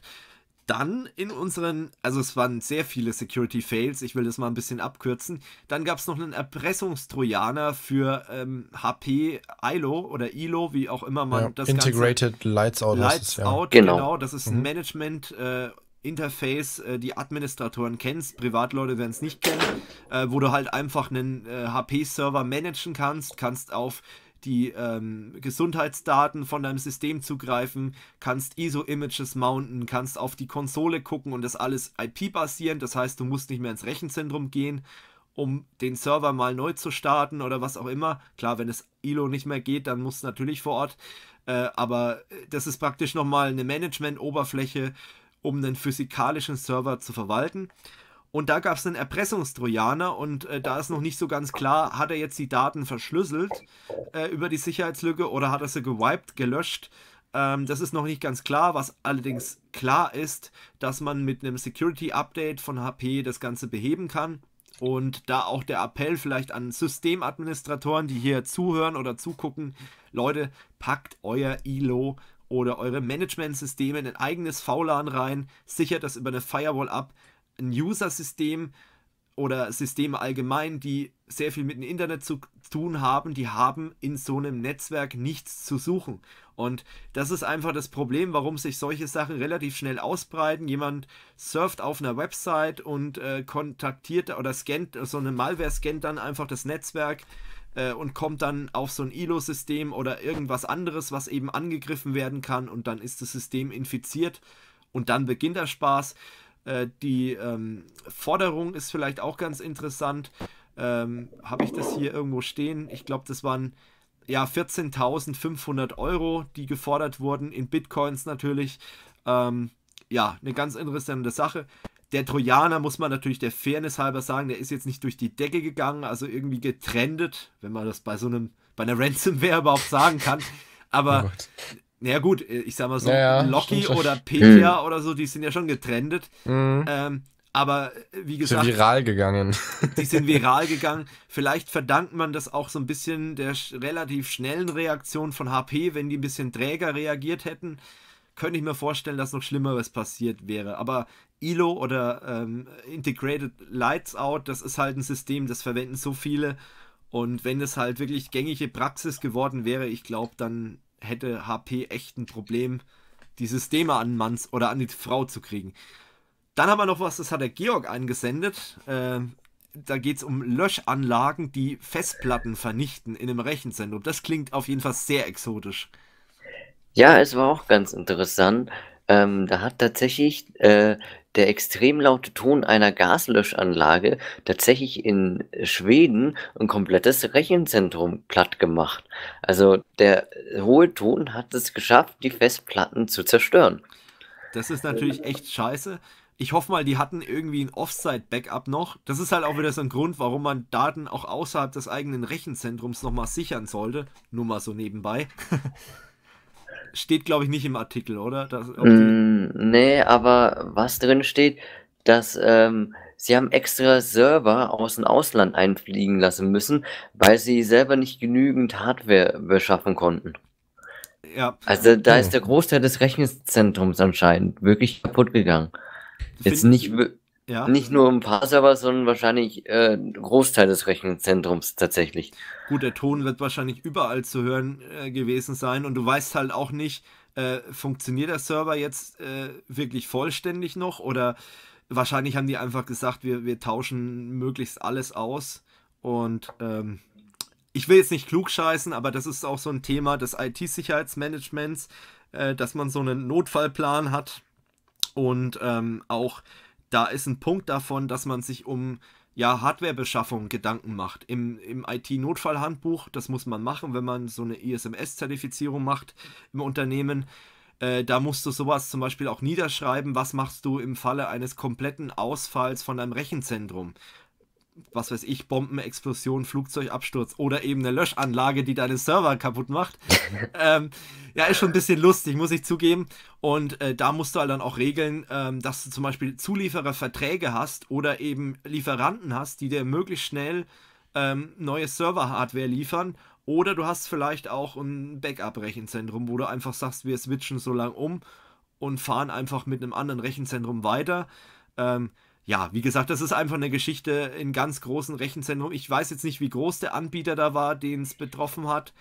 Ähm, naja, äh, da das, was ich, äh, das, was ich jetzt lese, war es, äh, der Nasdaq-Börsenhandel war da betroffen. Nasdaq, in den meinst du? Nasdaq, genau, in den skandinavischen und baltischen Staaten. Ja, auch in Norwegen. Ist jetzt nicht gerade also, klein, würde ich mal sagen. Ja gut, aber die haben sich bestimmt Gedanken gemacht. Vielleicht war ja auch diese Beschaffung aus dem Ausland Teil des IT-Sicherheitshandbuchs. Äh, Wobei ich weiß mhm. nicht, ob das in anderen Ländern so gelebt wird wie in Deutschland. Wir Deutschen sind ja so ein bisschen bekannt dafür, dass wir es sehr genau nehmen. Ähm, vielleicht ist es in Schweden auch gar kein Thema und die haben so eine Zertifizierung jetzt nicht. Das weiß ich nicht. Äh, wie gesagt, ich habe das nur mal in, in Deutschland mehrfach jetzt mitgemacht. Äh, Rechenzentrumszertifizierungen und äh, da ist es auf jeden Fall Thema, dass man sowas mit einbezieht, wo bekomme ich im Havariefall Hardware her. Und Äh, oder zum Beispiel auch, wie bekomme ich denn überhaupt einen Standort, wenn das Rechenzentrum in die Luft fliegt? Ne? Da ist ja auch das Thema, habe ich Räumlichkeiten, äh, wo ich dann überhaupt wieder ein Rechenzentrum aufbauen kann. Gut, ähm, dann das alle. Wolltest du noch was sagen oder? Äh, ja, ähm, weil das ist ganz interessant, weil Festplatten anscheinend tatsächlich recht empfindlich auf Ton äh, auch reagieren. Das sieht man auch nochmal schön in diesem Heise-Artikel. Äh, da ist es so ein Video eingebunden, wo man jemanden dann vor eben so einem Serverschrank sieht, der voller äh, Festplatten ist und der schreit dann diese Festplatten an und dann sieht man wirklich auf dem Monitor, dass äh, die äh, Schreibrate von diesen angeschriebenen Festplatten rapide nach unten geht. What the fuck? also das ist auf jeden Krass. Fall verlinkt. Ähm, das müssen wir euch oder dürfen wir euch nicht äh, ähm, enthalten. Na, ähm, oh, ist vorenthalten, genau. genau. Und ähm, alle Sachen, die wir hier erwähnen, sind natürlich verlinkt. Das nächste muss ich allerdings Ausnahmen bestätigen, die Regel äh, sagen, das ist nicht verlinkt, weil es mittlerweile nicht mehr verfügbar ist, aber das hat mir ein Kollege geschickt. Ähm, da ging es um einen relativ, ja, gutgläubigen, nenne ich ihn mal. Ich nenne ihn bewusst nicht dumm, äh, ja, Administrator, der in einem Forum äh, ja ein Problem mit seiner Firewall beschrieben hat und hat einfach mal damit es den Leuten, die ihnen helfen wollen, ein bisschen leichter fällt, einfach mal die komplette Konfigurationsdatei der Firewall hochgeladen. Ich glaube, viele von euch werden jetzt schon merken, dass es eine besonders dumme Idee ist, eine komplett, ein komplettes Backup von seiner Firewall irgendwo hochzuladen. Für die Leute, die immer noch sagen, was ist denn da schon dabei? Naja, ähm, man kann dieses Backup restoren und ähm, kann mit relativ wenigen Mitteln zum Beispiel, man kann es in der virtuellen Maschine restoren, man braucht nicht mal die Hardware-Firewall bei manchen Herstellern dann äh, und kann es da restoren und kann zum Beispiel dann das System relativ einfach knacken und kommt dann an zum Beispiel Zertifikate ran, man kann sich äh, VPN-Credentials äh, runterladen und so weiter und so fort und kann dann eben in dieses System einbrechen, äh, in dieses Unternehmen. Man weiß natürlich dann auch, ich meine, Foren sind ja eigentlich normalerweise anonym, aber dadurch, dass der die Config-Datei hochgeladen hat, weiß man jetzt auch mittlerweile, welches Unternehmen davon betroffen ist. Und ähm, das ist natürlich auch wieder entfernt worden. Zum Glück hat der Formbetreiber relativ schnell reagiert. Äh, aber es handelt sich, ich sage jetzt das Unternehmen nicht, aber es handelt sich um ein Unternehmen, das über 1500 Mitarbeiter hat. Also auch keine kleine Klitsche irgendwie. Und ich weiß nicht, der Admin, der hatte entweder keinen guten Tag oder macht es nicht oft aber sowas, Leute, wenn ihr sowas, es muss nicht eine Firewall sein, es kann auch ein DSL-Router oder sowas sein, der, manche bieten das ja an, dass man eine Config-Datei exportieren kann. Leute, ladet sowas auf gar keinen Fall in irgendwelche Internetforen hoch. Da sind Passwörter drin, da sind Zertifikate drin. Die Passwörter sind auch unverschlüsselt bei so einer Backup-Datei oftmals. Ähm, ganz blöde Idee. Also sowas auf gar keinen Fall in Forum hochladen. Ja, ich hoffe, den Admin, denen ist es da so ein bisschen ein, eine Lehre, weil sowas bedeutet halt wirklich, wenn sowas passiert, also wenn ein Kunde zu uns kommen würde bei Kurs of You und würde sagen, ey, wir haben ein Problem, ein Sicherheitsvorfall, ein Admin von uns hat ein Backup hochgeladen oder ein Backup, das muss ja nicht mal sowas sein, es kann auch sein, ein Admin hat ein Backup in Cloud Storage hochgeladen und der Cloud Storage ist geknackt worden. Die, was, was würde ich dann machen als IT-Sicherheitsmensch? Na klar, die komplette Firewall neu aufsetzen. Und das wird ganz teuer, weil es muss alles neu konfiguriert werden und wir können auf gar keinen Fall das vorhandene Backup verwenden. Und äh, das ist eine ganz, ganz teure Angelegenheit. Deswegen, ja, immer dran denken, äh, was man ins Netz hochpumpt. Gut. Und ich bin mir auch sicher, das vielleicht noch als Abschluss, dass irgendwo im Darknet noch ein Dump von dem Ding existiert. Also ich kann mir jetzt nicht vorstellen, dass sich das niemand runtergeladen hat. Also ganz ehrlich. Ja. Aber gut. Jo, dann äh, wären wir mit den Security Fails durch. Aber ich habe ja gesagt, es gibt noch ein Quiz. Und oh. genau, und äh, das finde ich ganz witzig. Ist natürlich auch äh, in der Beschreibung verlinkt. Ähm, und ich habe jetzt gesagt, ich mache das bei euch so. Ich werde euch die Fragen einfach mal äh, per Chat zuschicken. Und ihr werdet dann einfach mal ähm, versuchen darauf zu antworten und ich bin echt gespannt, wie viele Punkte ihr habt. Ich gebe es zu, ich bin, es geht um JavaScript und äh, Softwareentwicklung. Ich bin kein Anwendungsentwickler. Äh, deswegen habe ich da auch nur sechs oder sieben äh, Fragen richtig. und da war auch ein bisschen Glück dabei, muss ich sagen. Ähm, aber ich finde es ganz witzig. Und äh, wer sich ein bisschen mit Metal auskennt, äh, der wird relativ viel zu lachen haben gleich. So, ähm, gut, ich würde sagen, ich starte jetzt mal hier den Chat. Und dann lade ich da gleich mal die erste Frage hoch. Schauen wir mal, wie wir Fiesis alle abkacken. ja, also ähm, falls jetzt irgendwie ein Ausbilder vom David zuguckt oder so. ja, wer weiß schon.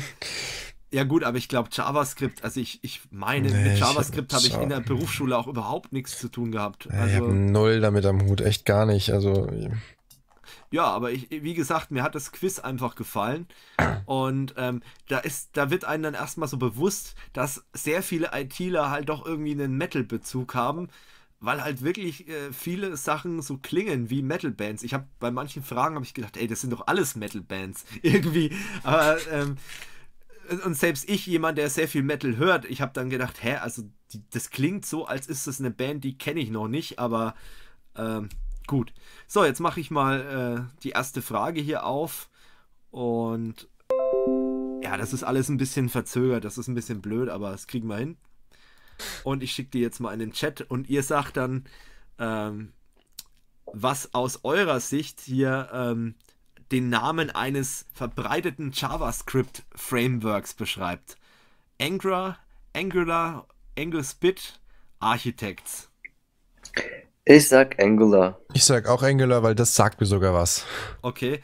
Ähm, Architects kann ich schon mal aufräumen, ist eine Metalcore-Band. Ähm, und Angular ist sogar richtig. Yay. Yeah. Habt ihr den uh. ersten Punkt schon mal gut gemacht? Ein Gummipunkt. Genau. Äh, Frage 2. Welches ist eine erfolgreiche Metalband? Das ist auch eine geile Frage. Und ich weiß es zufälligerweise natürlich schon. Aber ich lasse euch erstmal raten. Boah. Also Trivium, Amber, Knockout, Meteor. Die klingen alle wie Metal-Bands, aber das andere hat, also ist nur eine dabei und das andere hat alles eben JavaScript-Bezug. Aber fragt mich nicht, was es in, in JavaScript macht, keine Ahnung. Okay, das ist jetzt echt schwer. Ich hab keinen hm. Plan. Und ihr googelt bitte auch nicht. Also nee. ich, ich weiß nicht, aber für mich klingt Trivium irgendwie noch am meisten nach einer Metal-Band. Richtig! Irgendwie. Ja, das ist die. Ich hätte jetzt Ember gesagt, tatsächlich. Nee, Trivium ist. Nee, Ember, das klingt irgendwie so nach. Ach, ich weiß nicht. Ja, gut, ja, gut Ember heißt ja Glut. Naja. Ja. Genau. So. Aber es ist schon tricky. Also, denkst du, dass das halt auch JavaScript bezogen ist, dann fragst du dich echt. Ja, deswegen fand ich eben das so lustig. Also, Link ist wie gesagt auch in der Beschreibung, wer das durchspielen möchte oder die Kollegen damit nerven möchte, der kann das gerne machen.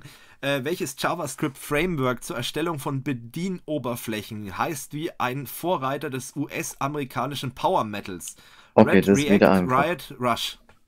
Äh, React. Ich auch React, das äh, sagt mir auch was. Und das React ist falsch. Riot wäre richtig. What? Was? Ja, Riot ist äh, eine Power Metal Band. Mir fällt gerade kein, kein Lied ein, aber Lol. die habe ich auf jeden Fall schon mal gehört. So, erster Fehlerpunkt, aber ihr seid schon mal trotzdem ganz gut dabei. Ähm, und da muss ich jetzt schon mal smun sch schmunzeln. Schmunzeln. Schmunzeln. Ähm, weil da eine lustige Metal-Band dabei ist. Ähm, wie heißt ein bekannter JavaScript-Paketmanager? GWAR, NPM, JBO. Bolle wollte sterben. Genau. Oder AOK. So. Also JBO oh und AOK können wir schon mal ausschließen, glaube ich. Ja. Boah. Ich, ich weiß, ich glaube, es ist NPM. Aber ich bin mir nicht sicher. Was sagt ihr? Würde ich jetzt auch sagen, tatsächlich. Ich nehme jetzt auch mal NPM, weil. Ah, und NT ja. NPM ist richtig. Also Ausschlussverfahren Jawohl. funktioniert da auch ganz gut. Ja. Ähm, ah, JBO, ey. Wollt ihr wissen, wie Bolle wirklich gestorben ist? ja. genau. Ja, also wer JBO nicht kennt, äh, guckt einfach mal bei YouTube. Der, der so. geht heim nach Fürstenfeld, würde ich sagen.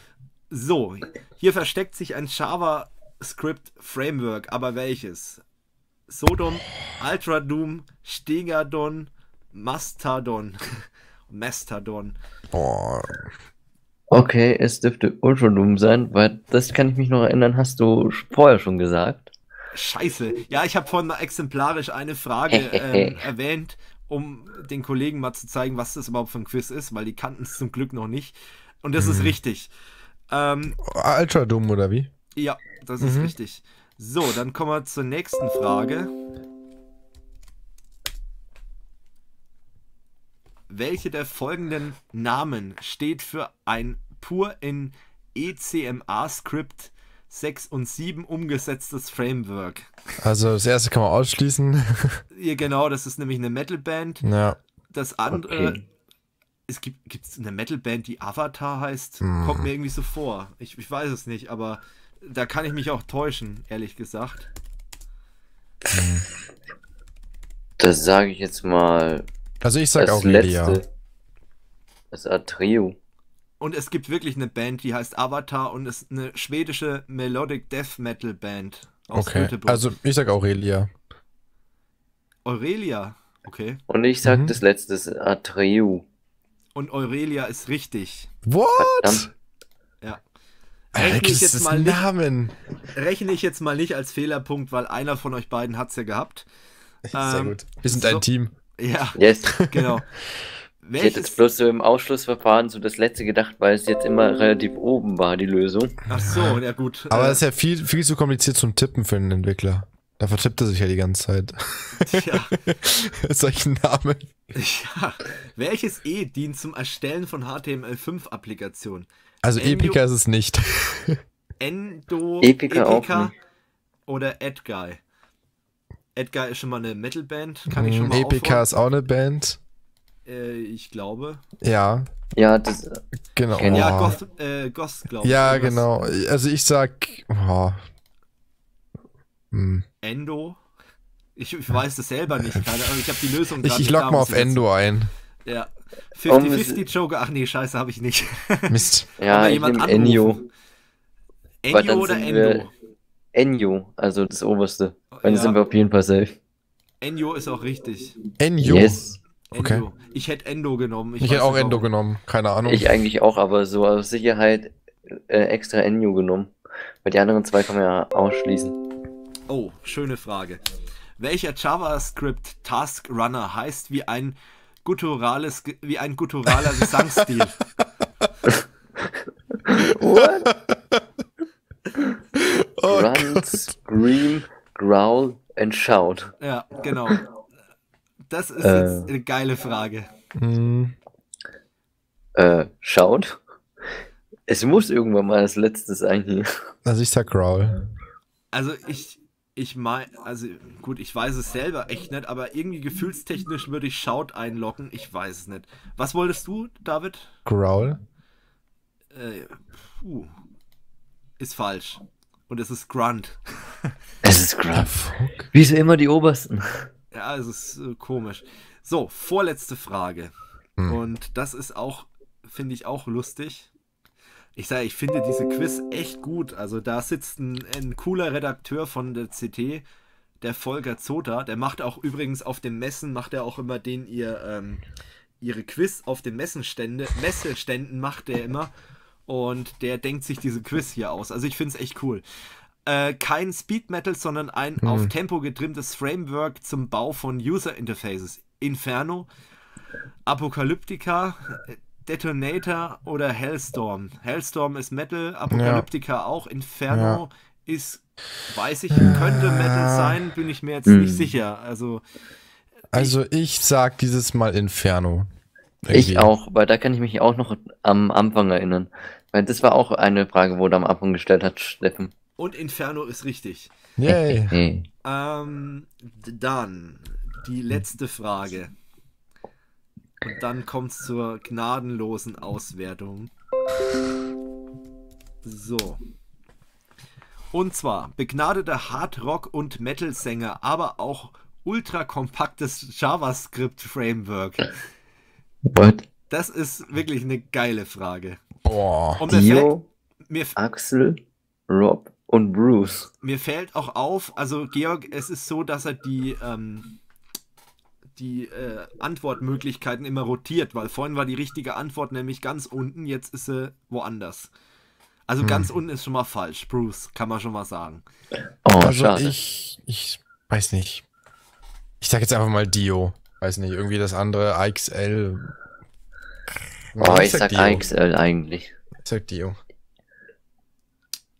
Überlegt mal, gut, ich, ich weiß nicht, ob ihr den, den Musik, ja gut, ihr kennt ihn nicht, also von daher brauche ich da auch keine Tipps weiterzugeben. Ähm, kennt ihr Black Sabbath? Ja. Äh, vom Namen her schon, aber die Sänger nicht. Okay, gut. Man kann vielleicht auch noch dazu sagen, dass der schon gestorben ist, der Sänger. Und es ist ein Sänger von Black Sabbath und DIO ist richtig.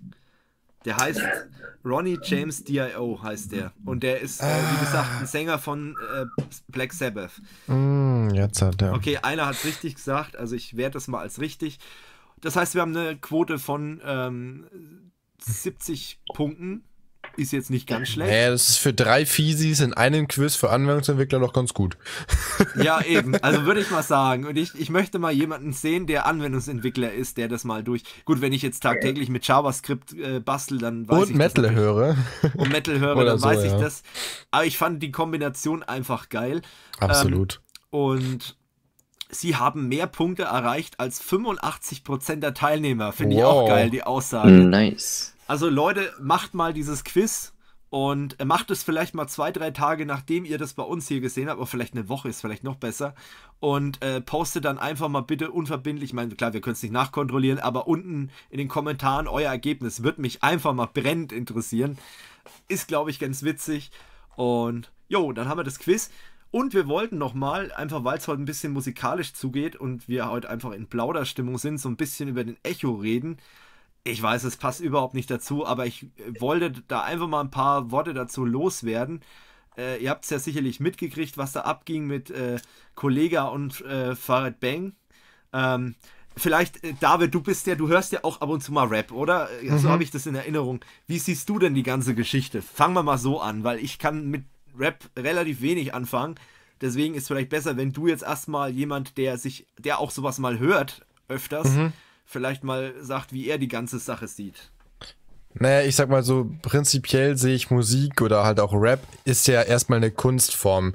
Äh, ich bin der Meinung, dass man da schon recht frei ist, aber es hat halt schon irgendwie auch gewisse Grenzen. Ob jetzt diese, da ging es ja um so, ähm, was war das, irgendwie judenfeindliche Lines? Ja, die, in, äh, die, die Line war konkret, äh, der Körper definiert wie von einem KZ-Häftling genau, oder ja. so, irgendwie sowas äh, frei, äh, frei interpretiert. Definiert in dem Fall.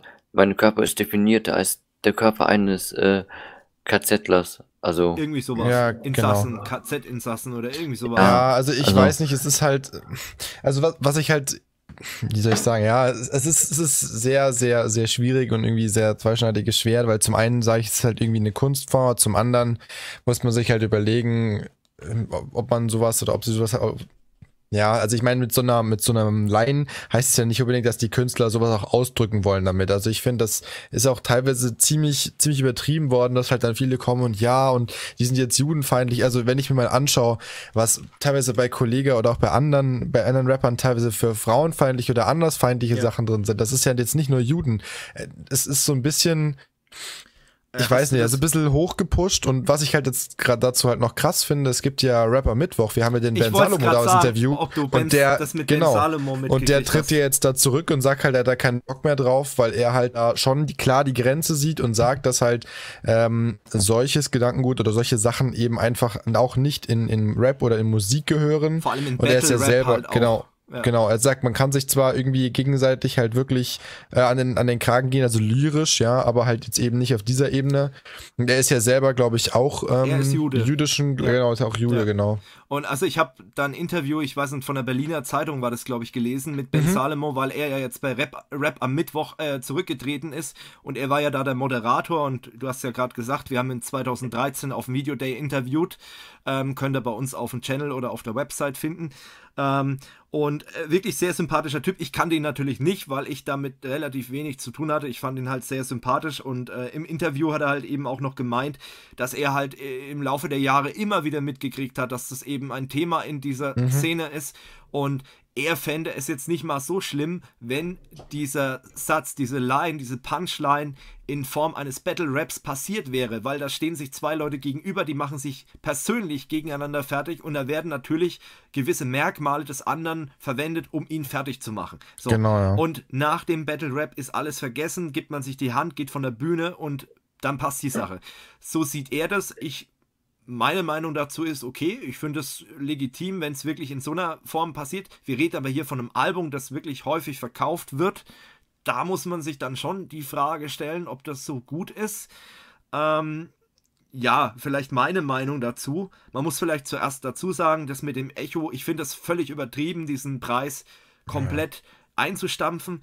Äh, nicht, weil ich der Helene Fischer den 20. Echo gönn und äh, was weiß ich, den, ähm, wie heißen die Amigos, die sollen auch wieder ein Echo bekommen, sondern es geht einfach darum, es ist ein Preis. Man weiß von vornherein, dieser Preis ist ein, ein Preis, der nach verkauften Platten geht. Da ist keine Jury da. Es gibt, glaube ich, eine Kategorie, wo eine Jury entscheidet. Das andere ist alles reine Verkaufszahlen.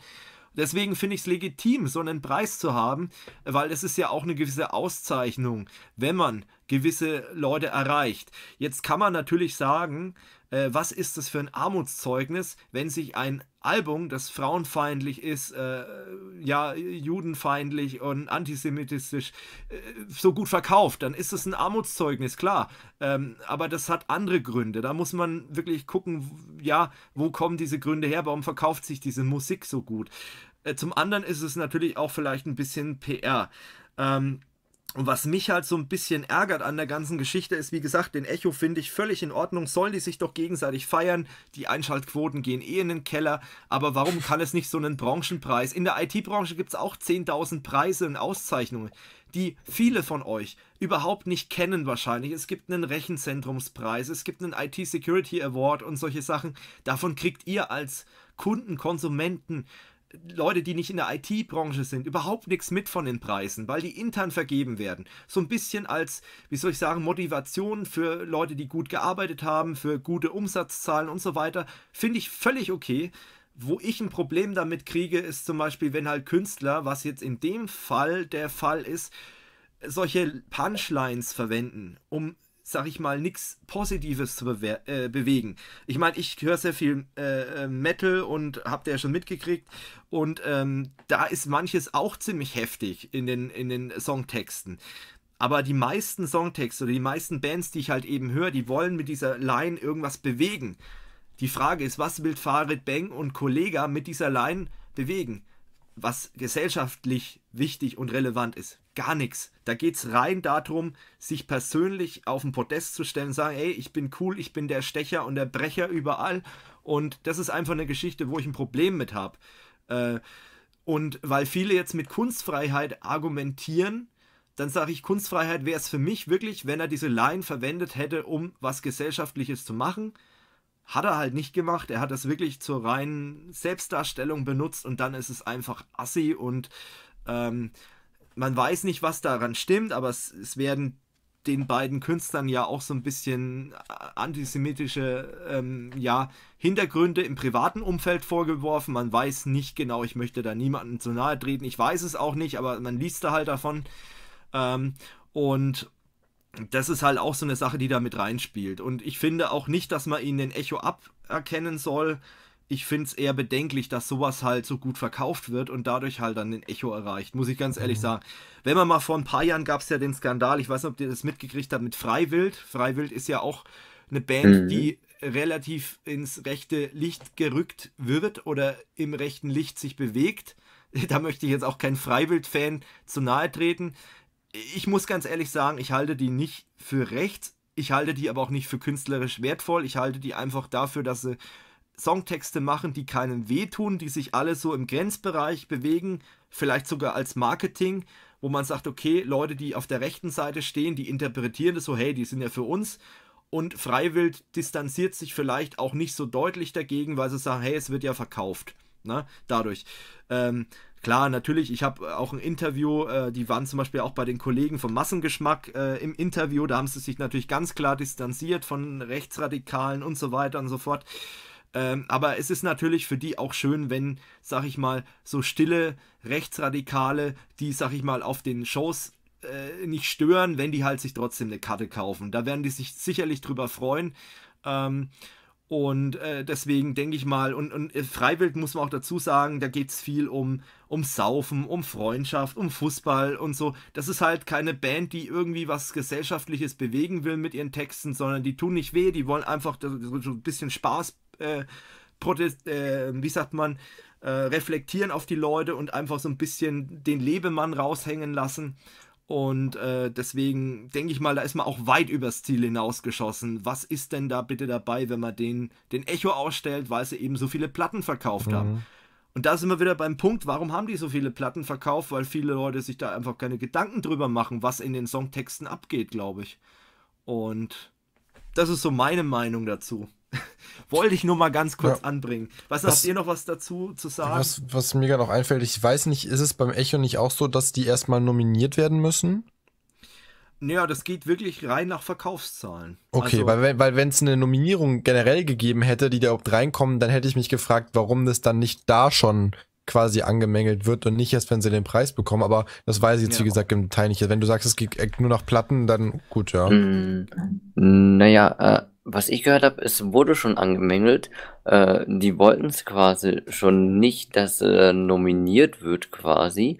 Aber ähm, dann haben sich die Verantwortlichen gedacht, hey, wieso denn nicht? Das ist, hm. geht ja unter die Kunstfreiheit.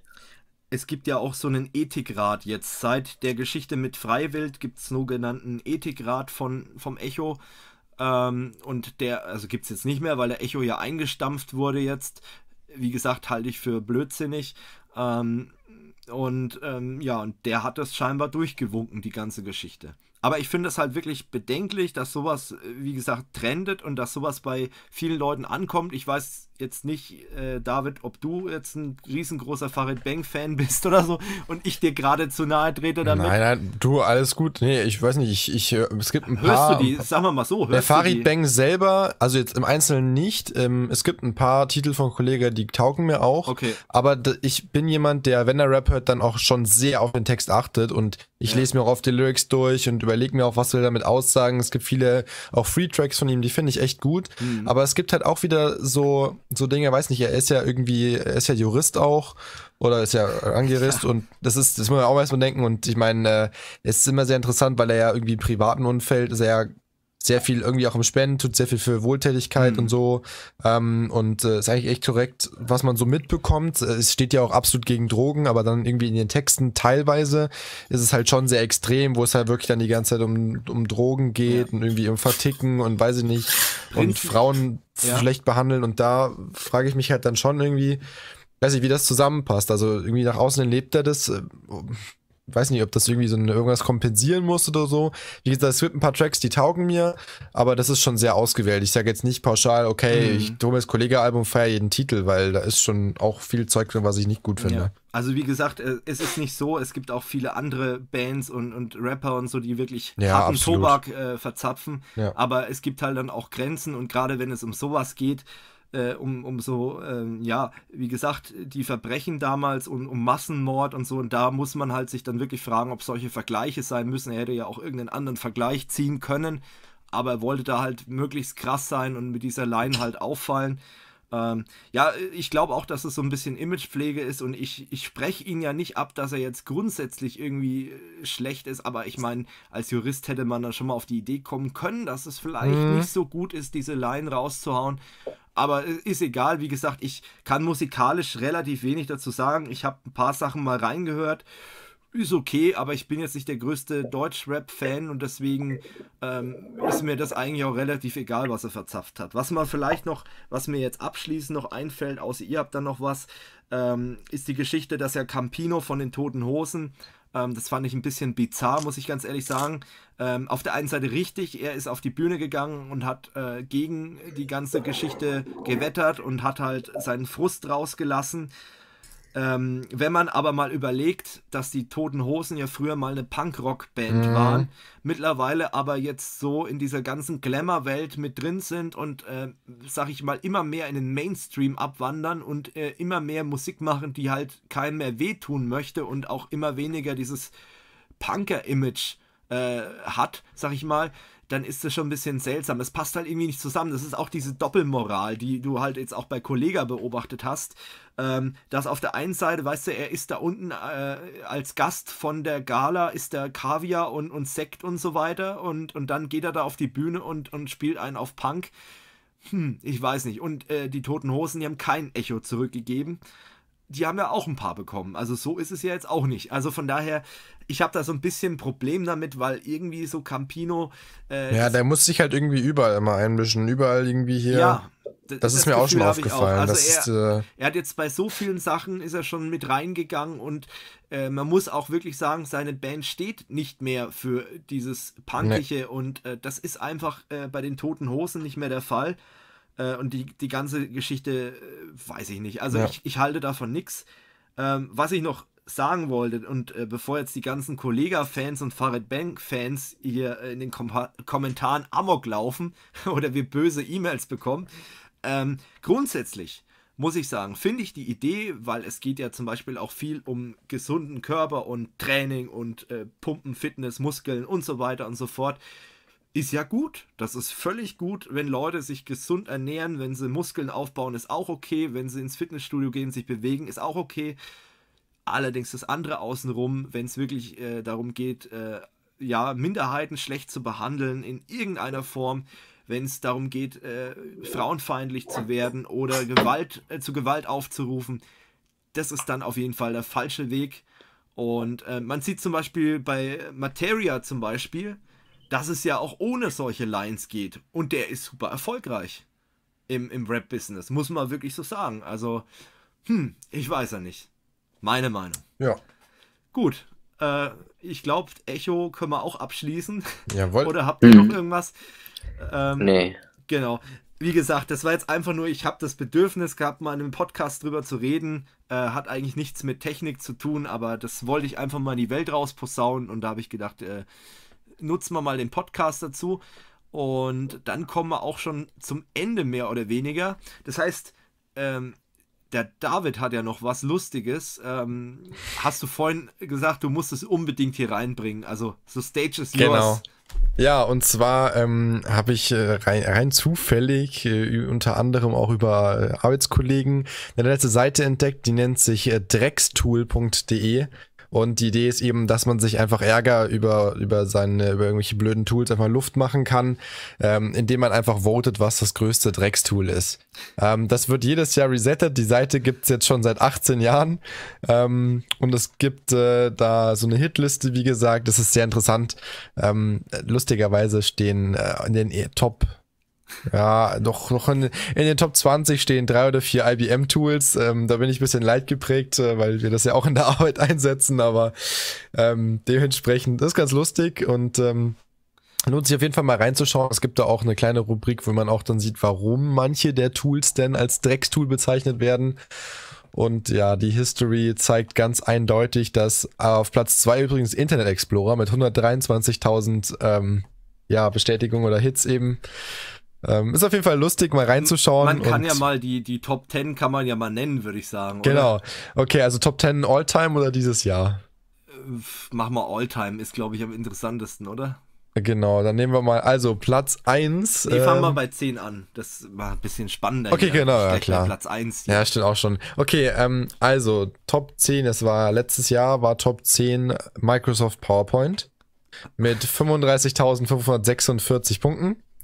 Direkt darüber kommt der Microsoft Exchange mit 34.469 Punkten.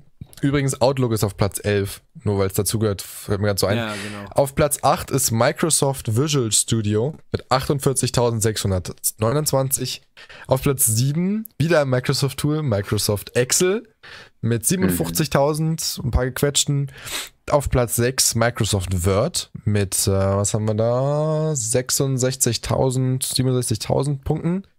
Auf Platz 5 Microsoft Access mit ähm, 76.000 ungefähr. Auf Platz 4 Microsoft Visio. Da haben wir 86.417. Auf Platz 3 jetzt und spannend Microsoft Project mit 101.152 ähm, Punkten. Auf Platz 2 der Microsoft Internet Explorer. Juhu. äh, ach so, genau, die Seite muss erst noch laden. Nein, Spaß. Ähm, mit 123.401 Punkten und auf Platz 1 IBM Lotus Notes mit 163.734 Punkten. Da sind sich alle einig, dass das kein guter Wurf war von IBM. Das ist ich, sehr, sehr lustig. Was ja. ich aber sehr krass finde, ist halt, dass die ganzen Office-Produkte, ich meine, die sind weit verbreitet, ja. aber ich muss ganz ehrlich sagen, ich würde das jetzt gar nicht so unterschreiben, dass es ein Dreckstool ist, weil wer mal mit einer Alternative für Word oder Excel oder auch für Outlook gearbeitet hat, der merkt relativ schnell, äh, dass die Alternative oftmals viel, viel schlechter ist als das äh, Microsoft-Produkt. Aber das ist halt oftmals einfach der Ruf. Microsoft ja. hat halt oftmals schon so einen Ruf, naja, ähm, ist jetzt nicht so der Innovator gewesen in den letzten Jahrzehnten. Das hat sich jetzt so ein bisschen geändert mit der Cloud und mit dem neuen CEO und so weiter und mit Windows 10 und Cloud und Gedöns. Aber äh, wenn man mal überlegt, so die, ich meine, das läuft, wie du sagst, ja schon einige Jahrzehnte die Seite. Ähm, da, wenn man mal überlegt, wie früher Microsoft dastand, dann war das ja eher so wirklich das piefige alte Zeugs und Internet Explorer ist definitiv. Ich frage mich, warum da kein Java irgendwie auf Platz 1 ja. oder Flash Player oder so. Wobei früher war das ja wahrscheinlich der heiße Scheiß, ne? Du konntest da irgendwelche lustigen Sachen im, im, Internet machen. Also früher war ja wirklich der ähm, ja, der Flash-Player, äh, das war Pflicht, den zu installieren. Du hast, die, die Kinder können sich ja gar nicht mehr dran erinnern. Ähm, wir haben uns früher ja immer den Flash-Player runterladen müssen. Naja. Früher in ganz alten Firefox-Versionen konntest du den sogar noch über den Firefox mit einem Wizard installieren. Also in Version 3 oder was das war ja. äh, mit Firefox. Äh, das, das kennen viele ja gar nicht mehr. Ja, ich, ich finde es so sehr lustig. Ich habe mal durchgeschaut, dass von 2000 bis heute äh, Lotus Notes immer in den Top 5 ist. Ja. das muss schon was heißen. Das heißt, glaube ich, echt was, ja. Also ja. ich, ich kenne es nur vom Sehen und das hat mir schon gereicht. Also das ist jetzt wirklich nicht so ansprechend, Lotus Notes. Äh, es ist halt IBM, ne? Die können halt Server und so und Mainframes, aber die können halt jetzt nicht wirklich irgendwelche Kollaborationstools. Ja, da aber bin ich leider leid geprägt. Ja. Gut. Jetzt noch eine kleine Sache, um an den letzten Tech Talk anzuknüpfen.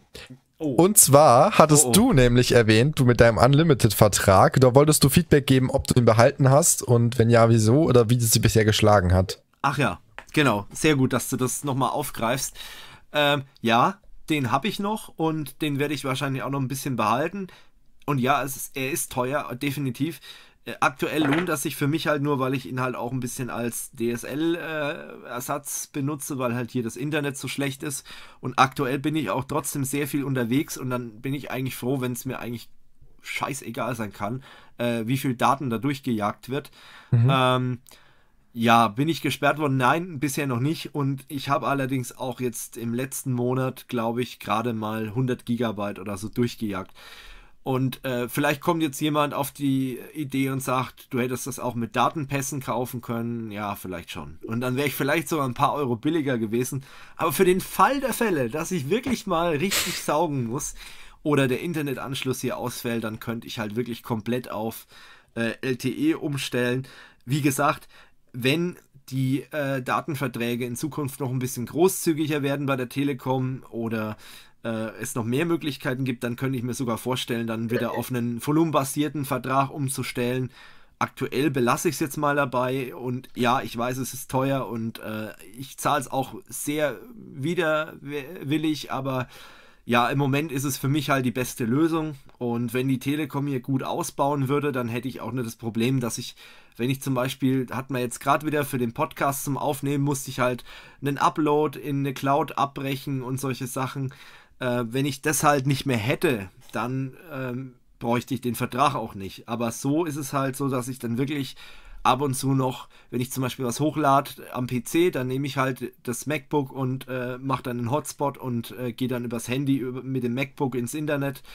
Oder ich habe auch jetzt in meinem Desktop-PC noch eine WLAN-Karte eingebaut und dann kann ich darüber dann auch äh, surfen. Naja, äh, mal gucken. Ich halte euch auf den Laufenden und wenn nicht, dann denkt David ja dran. Von Sehr daher. gut. Genau, und der Vollständigkeit halber, Georg hat sich dein Druckerproblem mit dem komischen Drucker ja. da eigentlich gelöst. Das ja, wolltest genau. du auch noch. Äh, ja, das hat sich gelöst. Äh, wir wissen jetzt nicht genau, weil der Techniker hat es nicht genau reingeschrieben, aber wir gehen tatsächlich bei uns in der Abteilung aus, dass sie tatsächlich bloß das äh, Netzwerkkabel getauscht haben.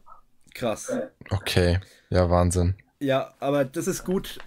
Kurs of You Update sozusagen. Nee, das so genau. heißt ja schon ein anderes Format. Scheiße, kann man gar nicht so nennen. äh, Tech Talk Update, genau. Äh, Sachen, die, die alt sind, nochmal aufgreifen. Jo, dann wären wir schon am Ende und schon ist gut. Wir sind ja. bei einer Stunde 51 Minuten, aber das musste einfach mal alles gesagt werden und ich hoffe, das war auch einigermaßen unterhaltsam. Ähm, jetzt habe ich noch ein paar organisatorische Hinweise. Ich habe es ja schon angekündigt am äh, Anfang des Podcasts.